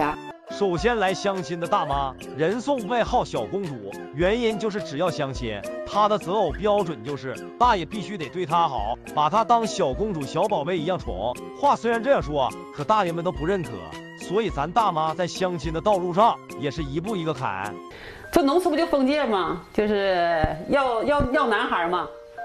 你家老大生这不姑娘吗？完寻要老二，就是寻思不就是小子吗？嗯，就是没生下大伙还说呢。你儿媳妇要是给你生姑娘咋整啊？生给你生孙女咋整？哎呀，姑那个姑娘小，孙女孙女我都愿意。这我们家老二一一一降生一来到人间，一一听小一看小姑娘，转身拧车就走了，俩手插兜，转身就走了。这女孩之后，我们家老婆就各方面走，就生活各方面都来刁难我，上有天下天可以跪下其实是一点都不撒谎，就是活我现在就。别看就是我现在五十多岁，就现在回到我们梨树北，你就是检查你，你打听说王老师就当初怎么离开这个村怎么走的，他有一个说错，啥都不用说了，老多支持我走了，说你走别不能跟他过来，总打仗以后给你打坏了咋整？是不是的？我俩我死打不了。往死打，就是那个我们我那时候也干净，那时候我们家就是，嗯，那时候农村就是瓦房，小瓦房边不都是瓦房，第一是那红瓷砖，就是那个不是红，就是红砖，知道吧？我都锃亮擦干净。我们家那小孩的爸就拿我头发。说起之前的故事，咱大妈也是一脸无奈，毕竟当时那个年代，大多数都是包办婚姻，彼此之间没有太多感情基础，过得好了就是幸福，过得不好的话。属实就是折磨忍耐呀，而咱大妈无疑属于第二种，所以眼下当务之急就是找个合适的老伴呀。大哥家特意去给你买的水果啥的啊，谢谢谢谢。啊，介正式介绍一下子，这个卢铁明鲁大哥之前在电视上看见过了，是不是啊？然后我介绍一下，这是王凤芝，王大姐。对，哎你好。这白净倒挺够，白净挺好，皮肤人家皮肤亮有亮光，而且啥就说那个。那个眼尾纹真没有，这女的一看穿戴是干净。我咋感觉一进门不乐呵呢？你长得真的叫大哥，叫出老弟来，多老啊，多老啊！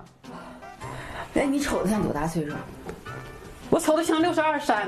哟，想想大哥的爱干净，哎呀，会做饭，拔丝地瓜，拔丝地瓜，大姐想想拔丝地瓜，鸡翅儿，还有大哥那爱干净劲儿，哎呀，衣服都不用你洗，鞋也不用你刷，哎呀，综合分儿。这么的，大哥除了老之外，长相呢？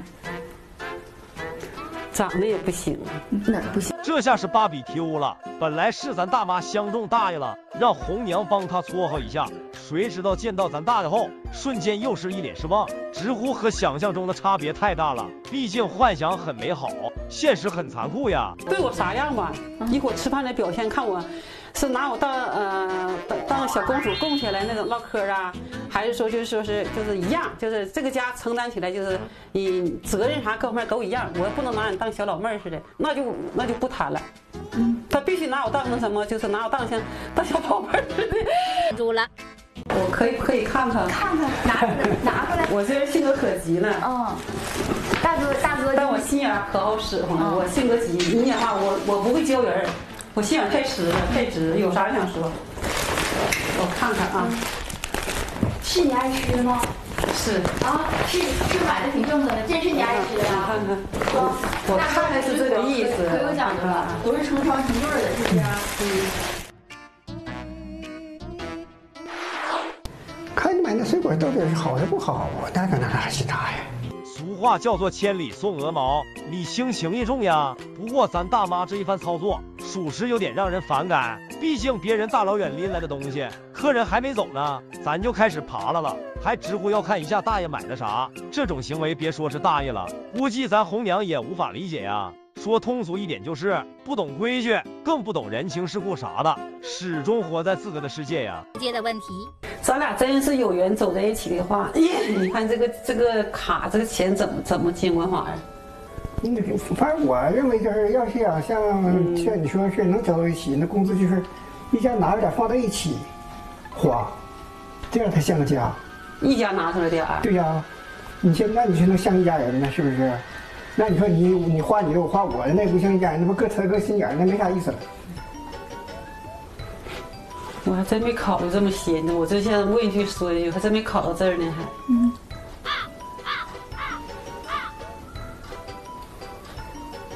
相得是演员，实际上还是看条件呀。明明是大妈相中大爷，但此时却是反客为主，弄得像大爷非他不娶一样。还没做过多的了解，上来就开始问工资咋安排，真是百家姓去掉赵，张嘴就是钱。虽说经济基础决定上层建筑，但俩人至少先聊一聊，再过渡到经济上呀。放那块，就放那了，谁谁用谁先拿呗，是不是？嗯，那方便。八哥刚才说这个，我不怎么太认同。我这人说话就直，一看身不就说大姐你说话太直，就是直，我不想掖着弯，他委婉那么说，我有点接受不了。事不到今就是呢，十个女的得有九个女的把钱，唯独这一个让他站起来。你看我吃喝穿戴，你看我像缺钱的人吗？咱这说实，缺零花钱的人吗？咱不是你这你这都性着我，我还跟你在一起干啥呀？是，呃，综合来看，综合来看，就这方面也不行，过不了这关。我还是那句话，就是一开始吧，你要先把了，后期完了再那啥。一开始你都不让我当个小女人，都不让我有舒服感、幸福感呢。我哥哥那是干啥呢？是我找你，那我找你干啥呀？找你呢？家家饭家饭穿人吃饭，我找你干啥呀？找你。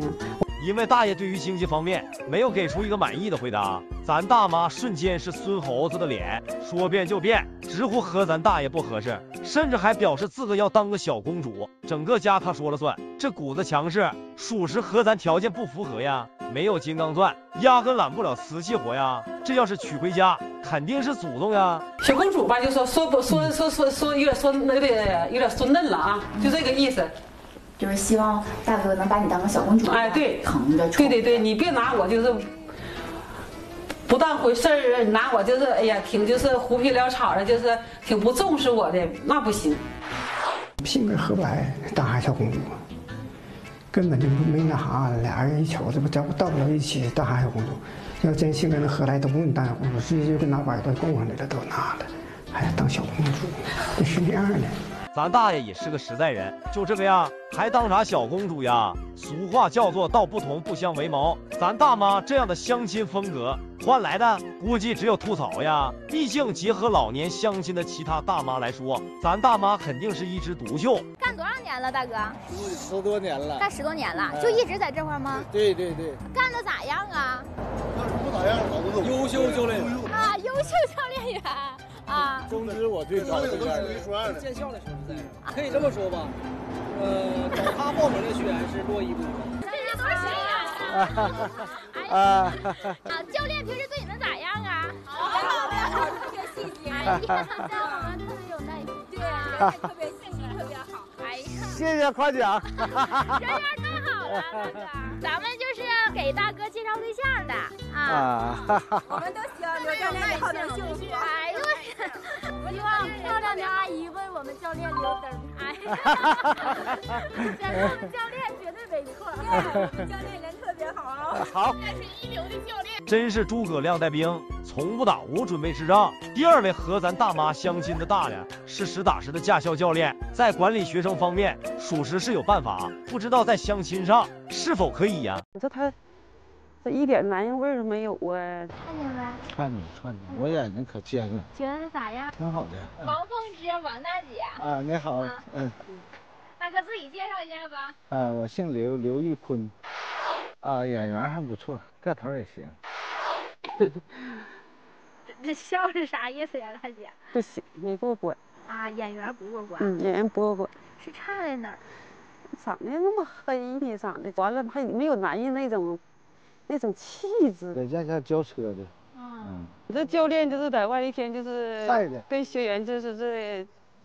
冬天跟这有区别，皮肤啊。冬天也黑，就是晒，这风吹呀。冬天连冻带风吹，呃，皮肤不咋好。这下是彻底芭比 Q 了。看到咱大爷后，咱大妈当场冷笑一声，言外之意就是没有相中咱大爷啊。对于明白人来说，咱大妈属实有点挑呀。又是嫌弃上一位大爷不给她花钱，又嫌弃第二位皮肤黑。要知道咱大爷是驾校教练，咋可能是细皮嫩肉呀？如此要求，属实有点信口开河了。再喝一回，一杯脸就红了。不行，咋的？喝酒呃少喝点还行，抽烟不行。那烟味都都都皮都像人那个嘴里有有口臭那股味，多难闻呢！这个我都可以，要不他不说我也记。为了我哥哥身体健康。烟酒我都不动，烟我跟小红娘我也说了，我都不抽了，一一盒烟能抽七八天，十天吧。大哥就说，如果要女方这头不喜欢抽烟的话，呃，一口不抽，一口都不抽。可以忌呢？忌可以。是吧？还可以。又是抽烟，又是喝酒，这下咱大爷属实落选了。不过咱大妈的点评，属实是有点犀利呀。毕竟光嫌弃别人口臭这句话，他已经对两位大爷说过了。对于明白人来说，咱大妈属实的考虑一下自身的原因。毕竟红娘所介绍的，无疑是和自身所匹配的。要是自个没啥条件，还想找个十全十美的人，属实是有点难呀。呃，租房住的话，你就上我那儿去住，这个非常好。哪都不能去呀。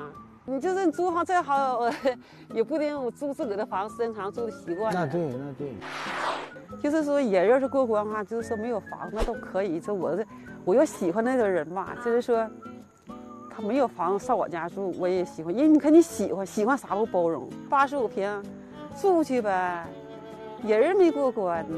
大姐，你你瞅着大哥说话，这一直往前瞅。没事没事。这个玩意儿就是瞅一眼，心里就就有数了。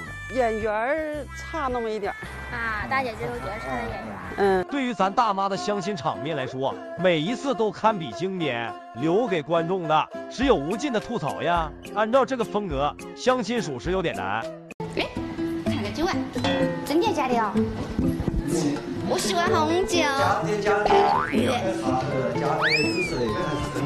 真是唱戏的腿抽筋。属实下来抬呀！俗话叫做无规矩不成方圆，咱都是成年人了，去过来相亲肯定的规矩一点，咋能到处乱翻呢？知道的是相亲，不知道的还以为家里来贼了呢。这种行为属实是大幅度降低好感度呀。现在呢，我是来到了这个男嘉宾的家门口，真的是克服了我很多坐电梯的恐惧症。四十五楼哎。他住的是这栋楼的顶楼，一般我觉得顶楼都是楼王，所以这家打开应该家里应该是很漂亮的一个家，我不知道会不会超出我的想象。没有门铃吗？这是密码锁吗？哦，这是密码锁，不是我家的密码锁，我不会。Hello，你好，男嘉宾，你好。是一男，反正有写的一男，来给大家打一下招呼，有请一下我们。好，可以进来哈。可以可以。要换鞋吗？不用换，不用换。这么干净的家，让我们换鞋。这点儿就行了噻。好好好，可以进去是吧？可以可以。OK，谢谢。首先来相亲的大哥也是妥妥的成功人士，家里的装修和摆设都在透露大哥的条件比较优秀。而咱大哥呢，也正是做生意的小老板，每个月好几万的收入，属实是碾压很多同龄人了。按照这个条件来说，也是闭着眼不抽挑。那所谓做生意，做生意的，我们那是在沈阳，到沈阳去接货，对我们做物流的要中午货到了，我们也去接货噻，是吧？接了待了七八个月，七八个月吧，可能时间久了，回来就是说呀，两个为了一些事情，性格也不是很那个，是吧？确实啊，过后就是这样，就离婚了嘛。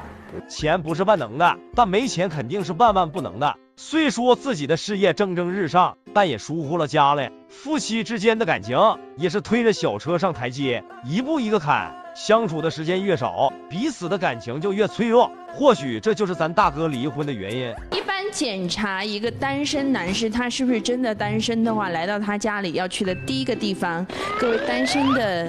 女生们记住，哎，你怎么知道？是这样子。走噻。走。这是男嘉宾的衣柜，还算干净，还算干净。好。单人的牙刷，只有一把牙刷。哎，你是不是知道我们来偷偷又藏了一把？没有啊，我还有把在这里，还有把在这里，我那个是电动的嘛，那个是电动的。还有把在这里，你看我一般都用这里把的。啊，所以这个第一步我们进来证明你是真的单身。我是单身。好，家里非常的干净，看得出来是新装修的。咱红娘也是长江里的石头，见过大风大浪。毕竟按照咱大哥的条件，即便不出来相亲，自个私底下也能找到。但从咱朋友的口中可以知道。咱大哥的标准比较高，私生活估计也是比较丰富，所以要是找个居家过日子的，属实是需要红娘来帮着筛选了，这样才节约时间。我二十岁左右的时候哈，有过一次短暂的婚姻，其实我们那时候是自由恋爱嘛，都还很小，其实对婚姻的概念哈认识还不是很深刻。不过啊，确实我们是。感情还是很好嘛，很稳定嘛。好，在我们领证儿后的不久，其实可能只有几个月的时间。好，都他都发生了意外嘛。他当时本来我们是想计划下一步呀，要个小宝宝那些哈，都出了车祸嘛。我觉得。说起过去的故事，咱大姐也是一脸伤感。毕竟月有阴晴残缺，人也有悲欢离合，此事古难全，啥事还得往前看。但话说回来，咱大姐的个人情况，属实有点不敢恭维，主要原因就是还在待业状态。说通俗一点，就是没有工作，没有收入。按照相亲的划分来说，完全属于三无呀。现在呢，我是在看着男嘉宾的礼物，男嘉宾正在我身后焦急的跟女嘉宾解释这个路怎么走。从我们今天上午去到男嘉宾家里联系到女嘉宾，到现在已经整整两个小时过去了，女嘉宾就一直徘徊在。几条滨江路，所以他根本找不到路。男嘉宾现在正在非常有耐心的跟他解释我们在哪个位置。真的，等人真的不是我的强项。你画个坐标，画那个坐标啊？那个坐标到附近，他可能要附近，喊他就不要走了，我们去找儿去。哎，我说你这样，你就就走他那个坐标，他画那个坐标，他就在附近一个车的。真是刘姥姥进大观园，彻底长见识了。毕竟对于相亲来说，双方都是赶早不赶晚。结果咱大姐不仅迟到了，而且还迷路了，弄得红娘也是一脸懵，只能让咱大哥开着车过去接她了。是女嘉宾道谁是女嘉宾了，因为你知道这个微信里的照片，光看头像也也看不清楚。现在不是有出入，是不看不懂。你猜一猜，你更希望这两位谁是女嘉宾？应该是那位嘛。啊？红色，红色。为什么？为什么我也不知道，反正凭感觉噻。谁是糖宝宝？应该是你。风那么大呀！我今天太累了。那就握手，简单直接。我们去咖啡厅好不好？先上车，太热了。对对对。死了。好好好，来来来。他有点挑食那种。啊，有点懒得将就那种。他可能那个开了三个小时，自己心里也很烦。美好的事物要坐下来慢慢发现，是不是嘛？嗯。哎，对。咱大哥是口袋里装钉子，锋芒毕露。见到咱大姐时，他是船老大坐后梢，见机行事，坐进车里就开始吐槽，直呼咱大姐有点傲气和挑剔。俗话叫做相由心生。大哥的话虽然不敢沟通。但从大姐的说话态度和风格上，估计和傲娇也沾点边。毕竟四个已经迟到很久了，不仅没到指定的地点，还让大哥过去找他。下车后反而吐槽路程遥远，天又热。话说热的不止咱一个呀。吃完吧。还好吧，理财啦。等一下，等一下吃点东西哦。那你现在在重庆定居了的噻？在哪个？重庆那边。我在重庆就在那上面呢，在上面买的房子。买的房子？我的菜搬进去的，年前才装修好。我的菜搬起一个月都得。哦。说实话。那你那个房子是呃不建议我问噻？是是是全款吗？是按揭？哎，不是按揭，我按揭，因为我们做生意要要按揭的哈。按揭，那我是有啥子说啥子。哦。按揭了好多呀。我按揭的是一个月还四千多点。对于你来说没压力？没得压力。哦。压力是有一点还是。呃，我刚刚那个车是你们朋友吗？是哪个的？是我的。哦，好久买的呀。要说咱大姐的相亲风格，完全是单刀直入呀。见面先问房子是否按揭，随后又问大哥的豪车属于谁，这妥妥的十分物质呀。毕竟别人相亲都是先问兴趣，其次再打听条件，而大姐则以物质为主，显然也是活得十分现实。倘若大哥的车房都不是自己的，估计大姐此时就走了呀。那我问下你喜欢哪种性格的女娃儿？性格有些时候来说，我肯定就不要那种太火爆的。我，你觉得我火爆吗？没想到的好。我是，我就想着要女孩子就是有点外向一点的感觉。那你觉得我是哪样性格的？第一感觉其实还是好，只是可能就是偏有点外向型那种。不过我不属于那种啥子，你说那种，你不喜欢那种啥子火爆型啦、女孩子型啦，我不是。烂酒啊，赌博啊。不，我不打牌，不不抽烟。哎，我想问你个问题，你觉得我们就是相差十来岁左右，你觉得有没有代沟那种？不会啊。我也觉得没得。而且我喜欢大数据。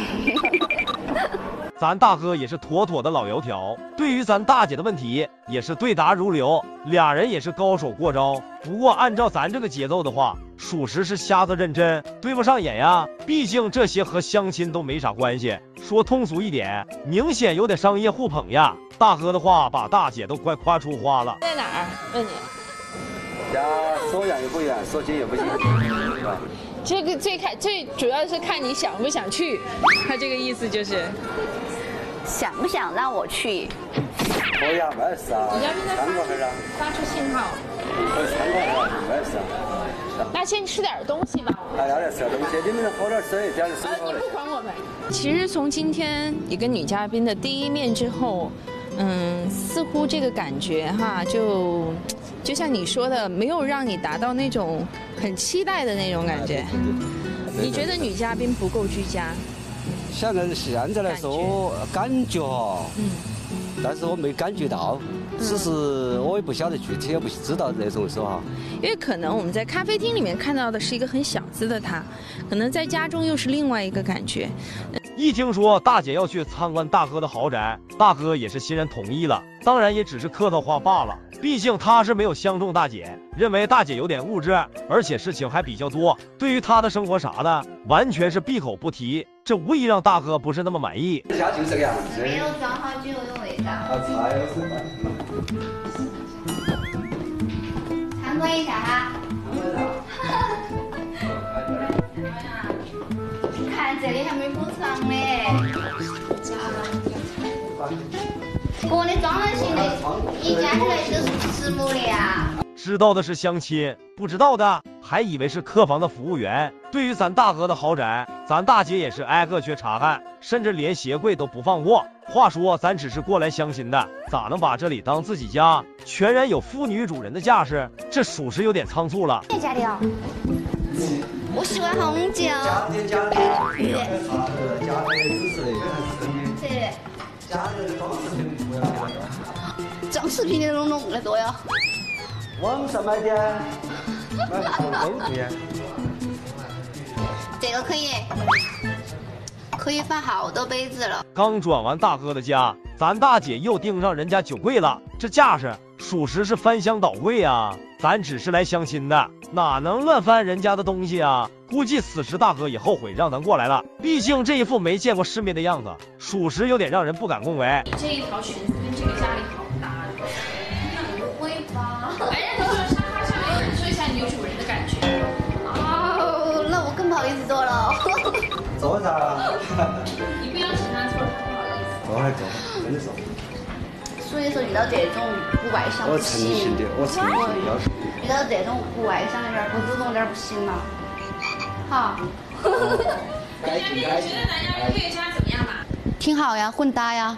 怎么觉得女嘉宾来你家里比我们来你家里的这个表现不太一样？可以可以可以。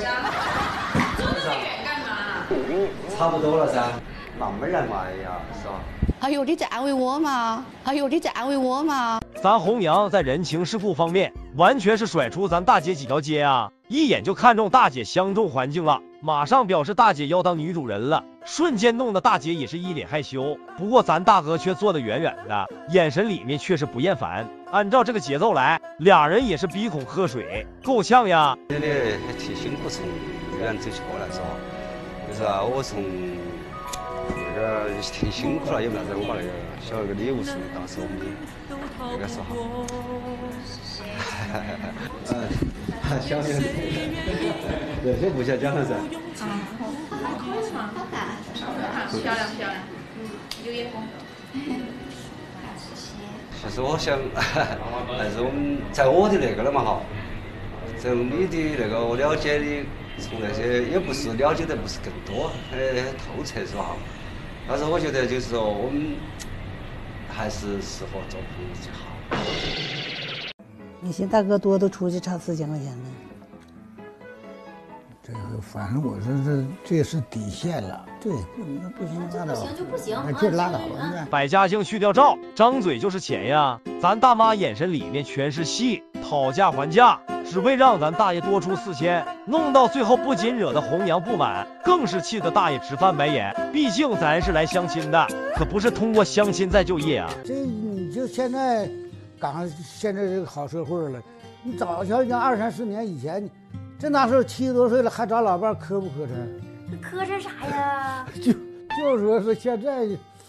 不不觉得不磕碜了。叔的意思是话里话外说，我赶上好时候了。对呀，对对对，夏天还行，夏天没事上公园。你到这冬天了，哪哪都挺冷的。你上小小区凉亭都没有人，所以说你就在家，除了看电视，再不就睡觉。像你这个岁数的觉平时还少吧？少。这没有招了，就尤其晚上那顿不行就喝一杯酒吧。喝点酒，借点酒劲儿，迷糊就睡着了。首先出场的大爷，人家的三观可谓是十分清醒。之前觉得七十多岁找老伴，属实是有点丢人。但真到七十岁的时候，忽然发现还是得找个老伴。虽然现在不愁吃喝，但没有老伴的话，那内心肯定是空缺，没个人聊天。万一半夜有个头疼发热啥的，那属实个玩玩意儿。你看，嘎了一茬了，这是二茬。啊，你这是买的大蒜，种的蒜苗啊。那葱也是你自己摘的啊？那葱的，这葱从摘上吧，嗯，十七八天儿，完了就就该都穿着大葱叶子了。啊，叔，你为啥自己在家种这些呀？你这买现成的不行吗？哎呀，这这不有个有有事儿干，这个要不在家待着难受。一有点事儿啊，一会儿旱了你得浇浇水儿，那那就消磨时间呗。啊，有点用是吧？我这蒜苗夹下来煮炒吃。叔，那你这一天三顿饭都自己做呗，是不？自个做，有时候不乐意做了就买点现成的。要说咱大爷的生活心态，属实是碾压无数大爷了。虽然是一个人生活，但家里面却是打扫的井井有条。最重要的就是，咱大爷没事的时候还种点小菜啥的，虽然不多，但对于自己的一日三餐，完全是绰绰有余了。那我找老太太，我养着你不就完了？你的就是有你有房有工资是你的，我一分我这这通过六十多亩地呢，六十多亩地就光卖卖地一年就三十万块钱。就这六百块钱一亩地呗，不是六六三万六吗？完了，共产党还给这个支补，就是，呃，种子化肥补贴，嗯，再加上油补贴，嗯，还得给不两两三千呢，啊，这不就将近四万块钱吗？叔，那你这这些年你得有点存款吧？那有得有一部分。啊，得有一部分，大概得有多少呢？你这么说吧，就现在这个在银行存款这个利息，啊，一年能给我一万多块钱。那不得有三四十万呢？嗯，差。差不多，差不多。啊，真是不说不知道，一说就吓一跳。弄了半天，咱大爷也是妥妥的土豪呀，一年能补贴好几万块钱，而且大爷还有退休金，手里存款三四十万了。这对于老年相亲来说，完全是闭着眼都不愁挑了。毕竟经济基础决定上层建筑。个人吗？我姓郭啊，郭永春啊，七十一岁啊。你呢？啊。我姓吴，叫吴文霞。你多大？我六十五岁。嗯，握个手啊，握个手呢，要不还？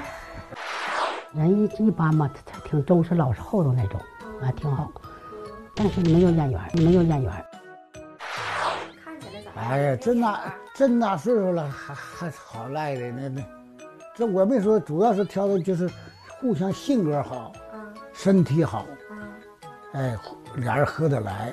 至于说外观找的是能差不多少就行，这那时候有几个好看的？哎，就这么个破屋子，多少平能有？七十二，七十二平，嗯，还够用。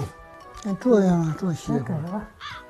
嗯，啥都不随我心，这个设备，嗯，这是最次的吧。那谁还能加楼？不得像样？谁能这样式的？哎嘿，一会儿吃，一会儿吃，一会儿吃没法吃，一会儿吃。一会儿才吃完歇歇再吃。啊，在家才吃完饭嗯，才吃完饭。厨子给你拿水果，你也没吃。嗯，能。咋的？不能吃。为啥不能吃啊？是因为没有眼缘吗？嗯，那也不是。真是鼻孔喝水，够呛呀！咱大妈也是十分现实，人情世故啥的，压根也不会整这些东西。只要没有相中。马上就眼神示意，气氛无疑变得是十分冷淡。不过对于咱相亲来说，该走的程序还是得走完，至少俩人坐下来聊聊。好感这东西都是慢慢接触来的。女士优先，介绍一下自己呗，是这意思哈。这个应该男士优先。嗯呐我也觉得男士优先。女士优先。男士优先，说啊，吵来点来。哎，老家黑龙江省龙江县啊，哎，龙兴镇啊。那你现在的生活，孩子管你是咋的？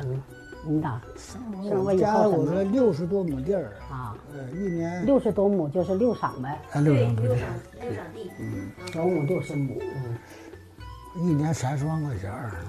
你也有地现在？嗯，你有多少地呀？我一晌多。嗯，他家穷与富裕我没啥太大关系，咱们不是挑人家。这事儿那事儿，我没说，哪有说，你反正来我就就我还这句话，这到哪咱也这说。来我只要行，我就养着你呗。吃穿存住都是我我花钱呗。条件太差，我都不是说是非得跟你要什么钱呢或者咋样，但是条他他他这条件不行，什么一点保障没有，眼缘也没有。他要有眼缘的话，条件差点也行，没眼缘还。哪方面我都没相中，啥事就嘁哧咔嚓就得了，没有眼缘，这个很重要。俗话叫做道不同不相为谋。对于咱大爷，咱大妈属实是没有相中。虽然俩都是出身农村的，可大妈似乎有点清高，因为没有相中。对于咱大爷也是爱答不理，大爷给的水果也不吃，总之都在不断的暗示，就是没有相中你。咱大爷也是十分乐观，既然没有相中的话，那就没必要去耽误时间了。毕竟俩人坐在那里，属实是有点尴尬呀。人家都是第一眼的演员，才能决定是否成功。而大妈见面后就没有眼缘，不管大爷是否有钱，压根不想继续往下聊。从这里也可以看出，咱大妈找老伴也不愿意糊弄。叔跟姨，你俩先做一个自我介绍啊啊，介绍介绍，嗯，啊，我姓李。嗯，我姓郭。啊，姓郭，郭哥。你好。叫啥呀？说啊。郭永春。郭永春啊，大好。姨呢？你叫啥？我叫李向琴。啊，来吧，跟你李妹握个手吧。大哥你好。我是五一年生人，不管这个岁数大小吧，就有这样好处。我身体好，没病。这我家，你这这，你想找药都找不着。刚才我们上你这个楼梯哈，五楼我都喘了，姨没咋地，姨说我就当锻炼身体了。那平时我上这个楼，我又拎多少斤的东西都没啥问题，那是不姨？拿拿料七七八十斤、五六十斤都得经常嗯。对这个姨的印象咋样？嗯，还行吧。人是不错，挺实在的。嗯，看着呢，说话唠嗑的。挺爽快的，嗯嗯，这个也挺对我的性格啥的比较像。比你稍大了几岁？你觉得？这个我还，我看行，不见他不见老，像你说是行。家庭环境，你觉得他这房子啥的，这环境咋样？行，比较不错。第一位大妈没眼缘，第二位大妈也有一点挑剔，但好歹愿意深入了解一番。而咱大爷依旧是八十岁吹笛子，尽是老调子，又是拿橘子，又是说客套话。不过大妈是传老大做后梢，见机行事，并没有发表太多看法。这不有点像农村的习惯吗？看干啥？年轻孩子呢？说看对象了，扒橘吃就聚一块了，就那说。这大哥橘子吃是想跟你聚一块儿啊？嗯呐，是那个样。那你咋不吃呢？你是不想跟他聚一块儿啊？搁人家也总有，总吃吃个五片吃。抽烟喝酒都会。是啊，那喝多少酒啊？二三两。二三两。姨会不会呀？会会不会抽烟呢？不会，抽烟喝酒都不会。抽烟喝酒都不会呀？抽烟喝酒的，一闻着辣的，我这边这眼泪就像哭了似的，心受不了。你只要来了吧，咱说什么的，就是所有，哎，各种费用都是我出钱。完了呢，这个一个月呢，我再给你一千块钱零花钱。人就是加汗加汗，穿衣吃饭嘛，这是应该的。我觉得少点一千块钱。嗯。难怪咱大妈没咋轻易发言，弄了半天还是想多要些钱。和第一位大妈不一样的就是，咱这位大妈暂时忽略了演员，一直在等大爷开口谈这个生活费问题。如果生活费可以的话，不管是否有演员，都是天空飘来五个字，啥都不是是。不过对于大爷一千的标准，大妈并不是多么满足。月最少得两千块钱，一年两万四，十年就二十四万。那咱俩要这待遇都都过二十年，就将近五十万都让你挣去了。那我那钱呢？我没有钱，你冲啥要？咱就那地，三十万块钱儿，那那也太超标了。我还真死到后边呢。你说我不挣点钱，不到时候我不得上养老院？儿女能管你吗？儿女为啥不能管你啊？哎呀妈，人家到时人家都。哥人都管不过来，哥哥呢，谁能管你？那你就不找老伴儿，他们就管你了；找了就不管你了，是这意思？那这是两个概念了，那不行了。你找过来的孩子，只能是另眼看待呢。可是姨呀，你这个生活上都让叔承担了。你想想，两个人在一起过日子，柴米油盐、吃穿用度也不少钱呢。然后除了这些钱之外，你还要求叔每个月再给你存两千块钱。那你想想。叔又能有多少呢？叔难道不想的是，我也得留点老本吗？我也得养老啊！知道的是相亲，不知道的还以为是菜市场呢。毕竟咱大妈开始讨价还价了。对于咱红娘来说，大妈属实是有点贪了。毕竟大爷吃喝啥的都不用大妈管，每月还给大妈一千多的零花钱，咱大妈依旧没有放在眼里，不断强调想多些钱。嗯，刮大白我就不刮了，陪大哥唠嗑说话啥的。那么的，我再多拿出四千，就是那么的，你是你买衣服了，拿去是啥？你相中啥你买啥，买衣服钱我就不再出了，是不是？再挣出来一万六吧，这一年两万块钱得了呗。哎呀，不行了，这个是找对象这个事儿吧，是说我真的说我在感情上有缺失，我想找个对象。然后，呃，说这个零花钱呢，或者是存钱呢，那都是说啊，我有这个心意，我对你有这个情谊，才存在这个零花钱的事儿。那你俩说现在，嗯，你多要四千，他说我再少给四千，你说你俩在这儿讲这个事儿，你不觉得这个事儿就变质了吗？是不是，叔和姨？那些大哥多都出去差四千块钱呢。这个反正我说这这是底线了，对，那不行拉倒，不行就不行，就拉倒了，不行就不行。对面这你这大哥说了，那就那么地吧。对于咱大爷来说，每月给大妈好几千，一年都得好几万，而且吃喝啥的他都得出，一年算下来不少钱，等于大妈过来一分钱不用拿。这对于老年相亲来说，属实有点说不过去了。而咱红娘也明白大妈的意思。毕竟大妈咋看都不像是找人过日子，而是想找个大爷养着她，在生活费上还讨价还价，所以红娘直呼不行就拉倒。又还一口价，你有没有觉得这个过程不得劲儿？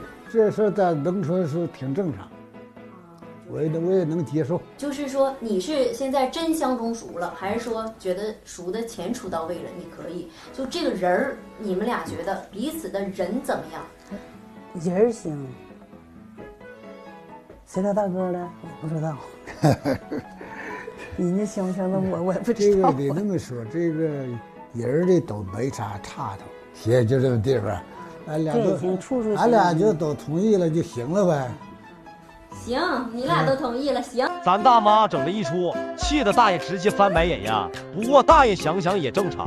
而咱大妈看见红娘的态度后，瞬间也慌了。毕竟要是被咱红娘给弄走的话，那以后就没机会了。索性就这样得了。但对于明白人来说，这样的感情属实是走不长。按照咱大妈的想法来说，她也是搭伙过日子罢了。最先进入你家映入眼帘的就是这张大婚纱照，二二年的一月份照的，真是踏破铁鞋无觅处，得来全不费工夫。蓦然回首，那人站在灯火阑珊处。这番话用来形容咱大爷，无疑是再合适不过了。七八十岁的年龄，只是相亲一次，就寻找到晚年的真爱，如此相亲，属实有点让人感动呀。你俩是搭档呗，天天 一起。谁年龄大？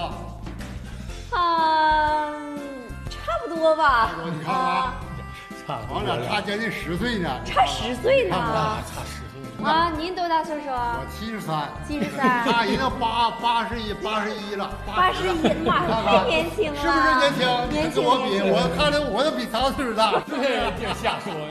啊，年轻年轻，哎呀，八十一了，那您说应该，我们应该是管您叫大哥还是叫叔呢？那不叫大哥，应该叫爷爷。爷爷，啊。呃，咱们节目吧都叫大哥，为啥？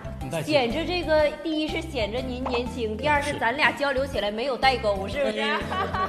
真是不说则罢，一说则名人呀。咱大爷已经八十多岁的高龄了，和另一位大爷站在一起，属实是十分年轻。虽然俩人相差十岁多，但咱大爷明显更加年轻一点，难怪出来相亲。毕竟身体素质在这里摆着，健康，或者长得也比较年轻一点。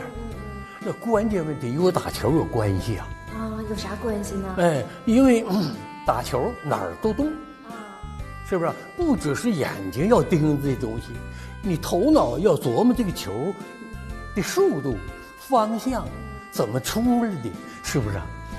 哎，所以这另外呢，你胳膊腿儿如果要是说嗯不灵活，那你这个球你跟不上趟啊！哎，哪儿都得动。对呀。哎。所以看看吧哈，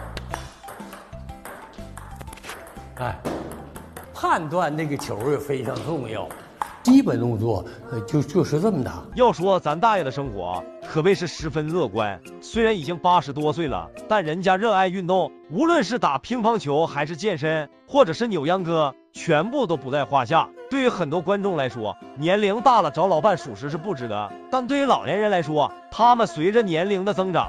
越需要陪伴，是你的小梳妆台呗，简单的小梳妆台。对对，平时就是喜欢抹呀、画呀啥的吗？这种就是眼眉，呃，画一点点，完了 抹点那个保养皮肤的，天天他就皮肤好，不用不着。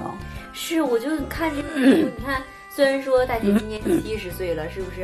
然后这皮肤还透着亮的。白净啊，这个头发染过吧？应该是啊，染是肯定是染的，但是这个发量真多。对呀，他那个发质粗，是不是显得就多似的？这个为啥卧室里边放了一个体重秤啊？那我控制我的体重，我也不想让他太瘦，也不让他太胖。那你要把体重控制在一个什么样的？我在一百二到一百二十五。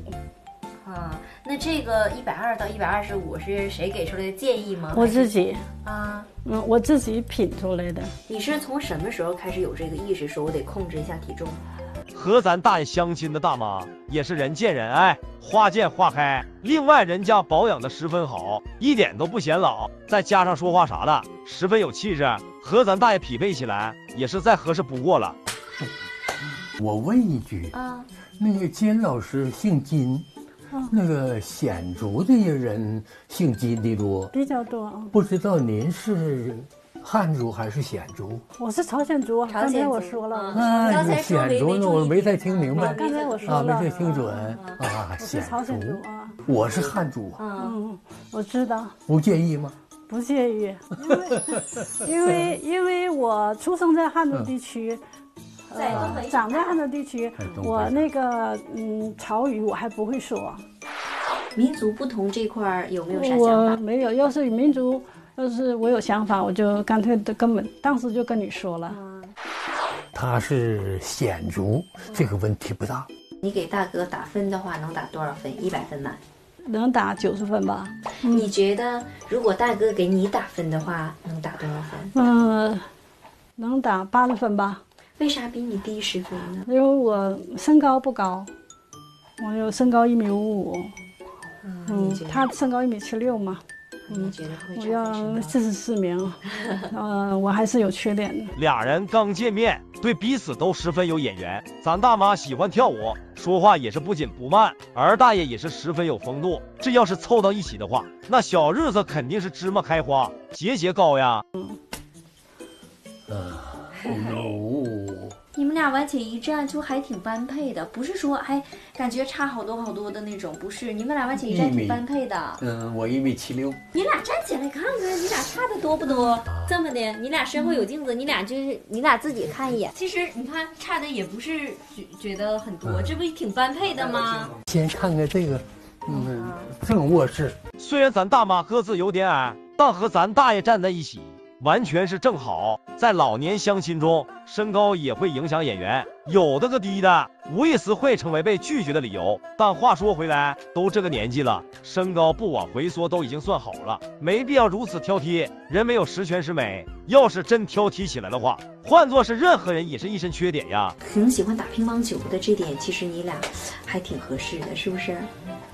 是我们俩有共同爱好。我是师大中文系毕业的。东北毕业了以后就是，呃，一直从事中学教育工作。中文系毕业就打下了很多这个底子，比如说愿意看书啊，还有这个写书法呀。书法因为这个书法的作品吧都在社区呢，然后因为现在又呃有点疫情，所以这个咱们进不去，东西也拿不出来，就没法给你展示了啊。嗯，但是大哥这个朗诵特别好，是不是啊？我喝口水吧。行，啊，必须得。好好的这个准备准备啊！知道的是相亲，不知道的还真以为是一家子呢。咱大爷和咱大妈相亲也算是毫无看点，原因就是俩人都是风平浪静、知书达理的，压根没有摩擦出任何火花呀。看惯了要钱要彩礼的，如此相亲，属实有点不适应呀。哎呀，真好，挺好吧？他挺投入的，嗯嗯，朗诵的挺好。除了朗诵的挺好，你有没有觉得，就是他在这个过程中能看出来说他身体挺好的，因为他底气挺足的。对。啊，说话 整个是从从底下往上使劲朗诵，对。吧？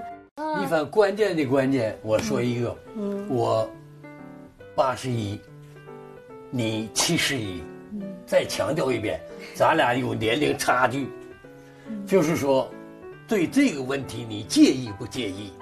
是这个，我来之前就知道。来之前他说的，是差差差差十岁，嗯。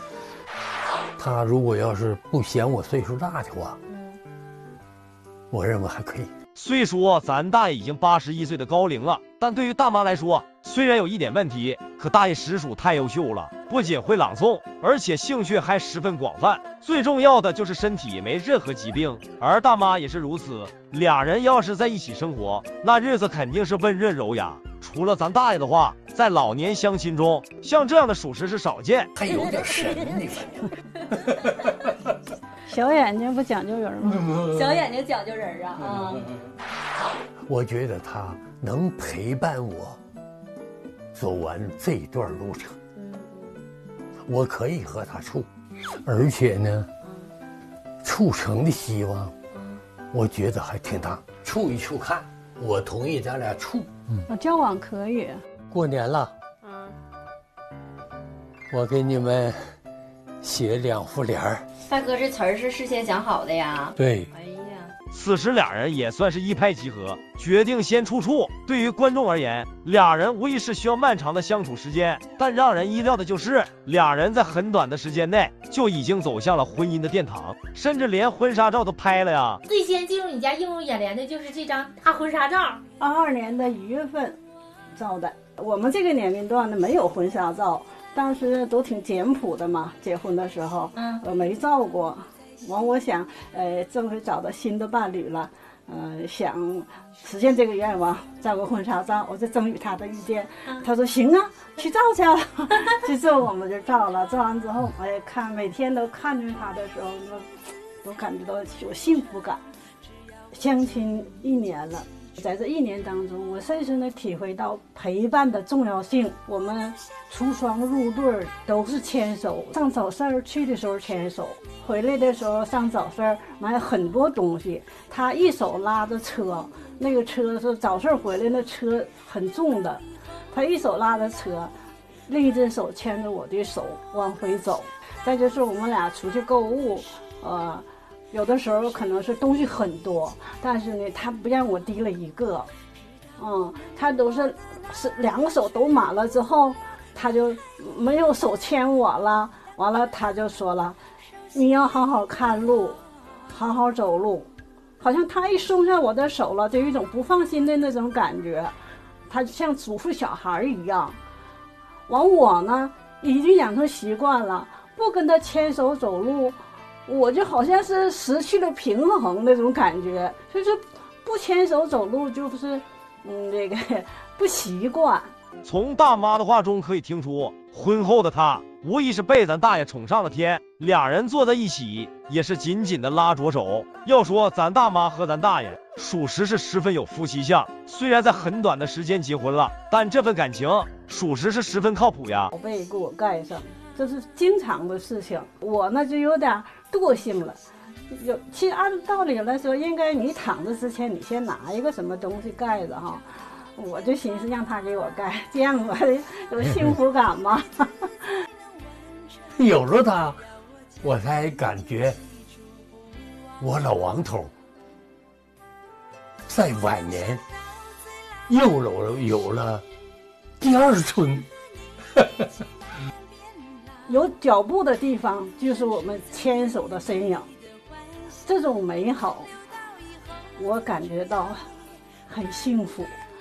我这个年龄七十多岁了，我值了。说起此时的感受，大妈也是一脸幸福。作为观众，咱只能给予最好的祝福，祝福二老白头到老，每天开心和快乐。这份爱情来的虽然很晚。但是呢，很幸福。我们呢，一定要珍惜它，爱护它。我想，我们一定能够根据我们的身体素质，我觉得我们再活十年，白头到老，没有问题。没问题。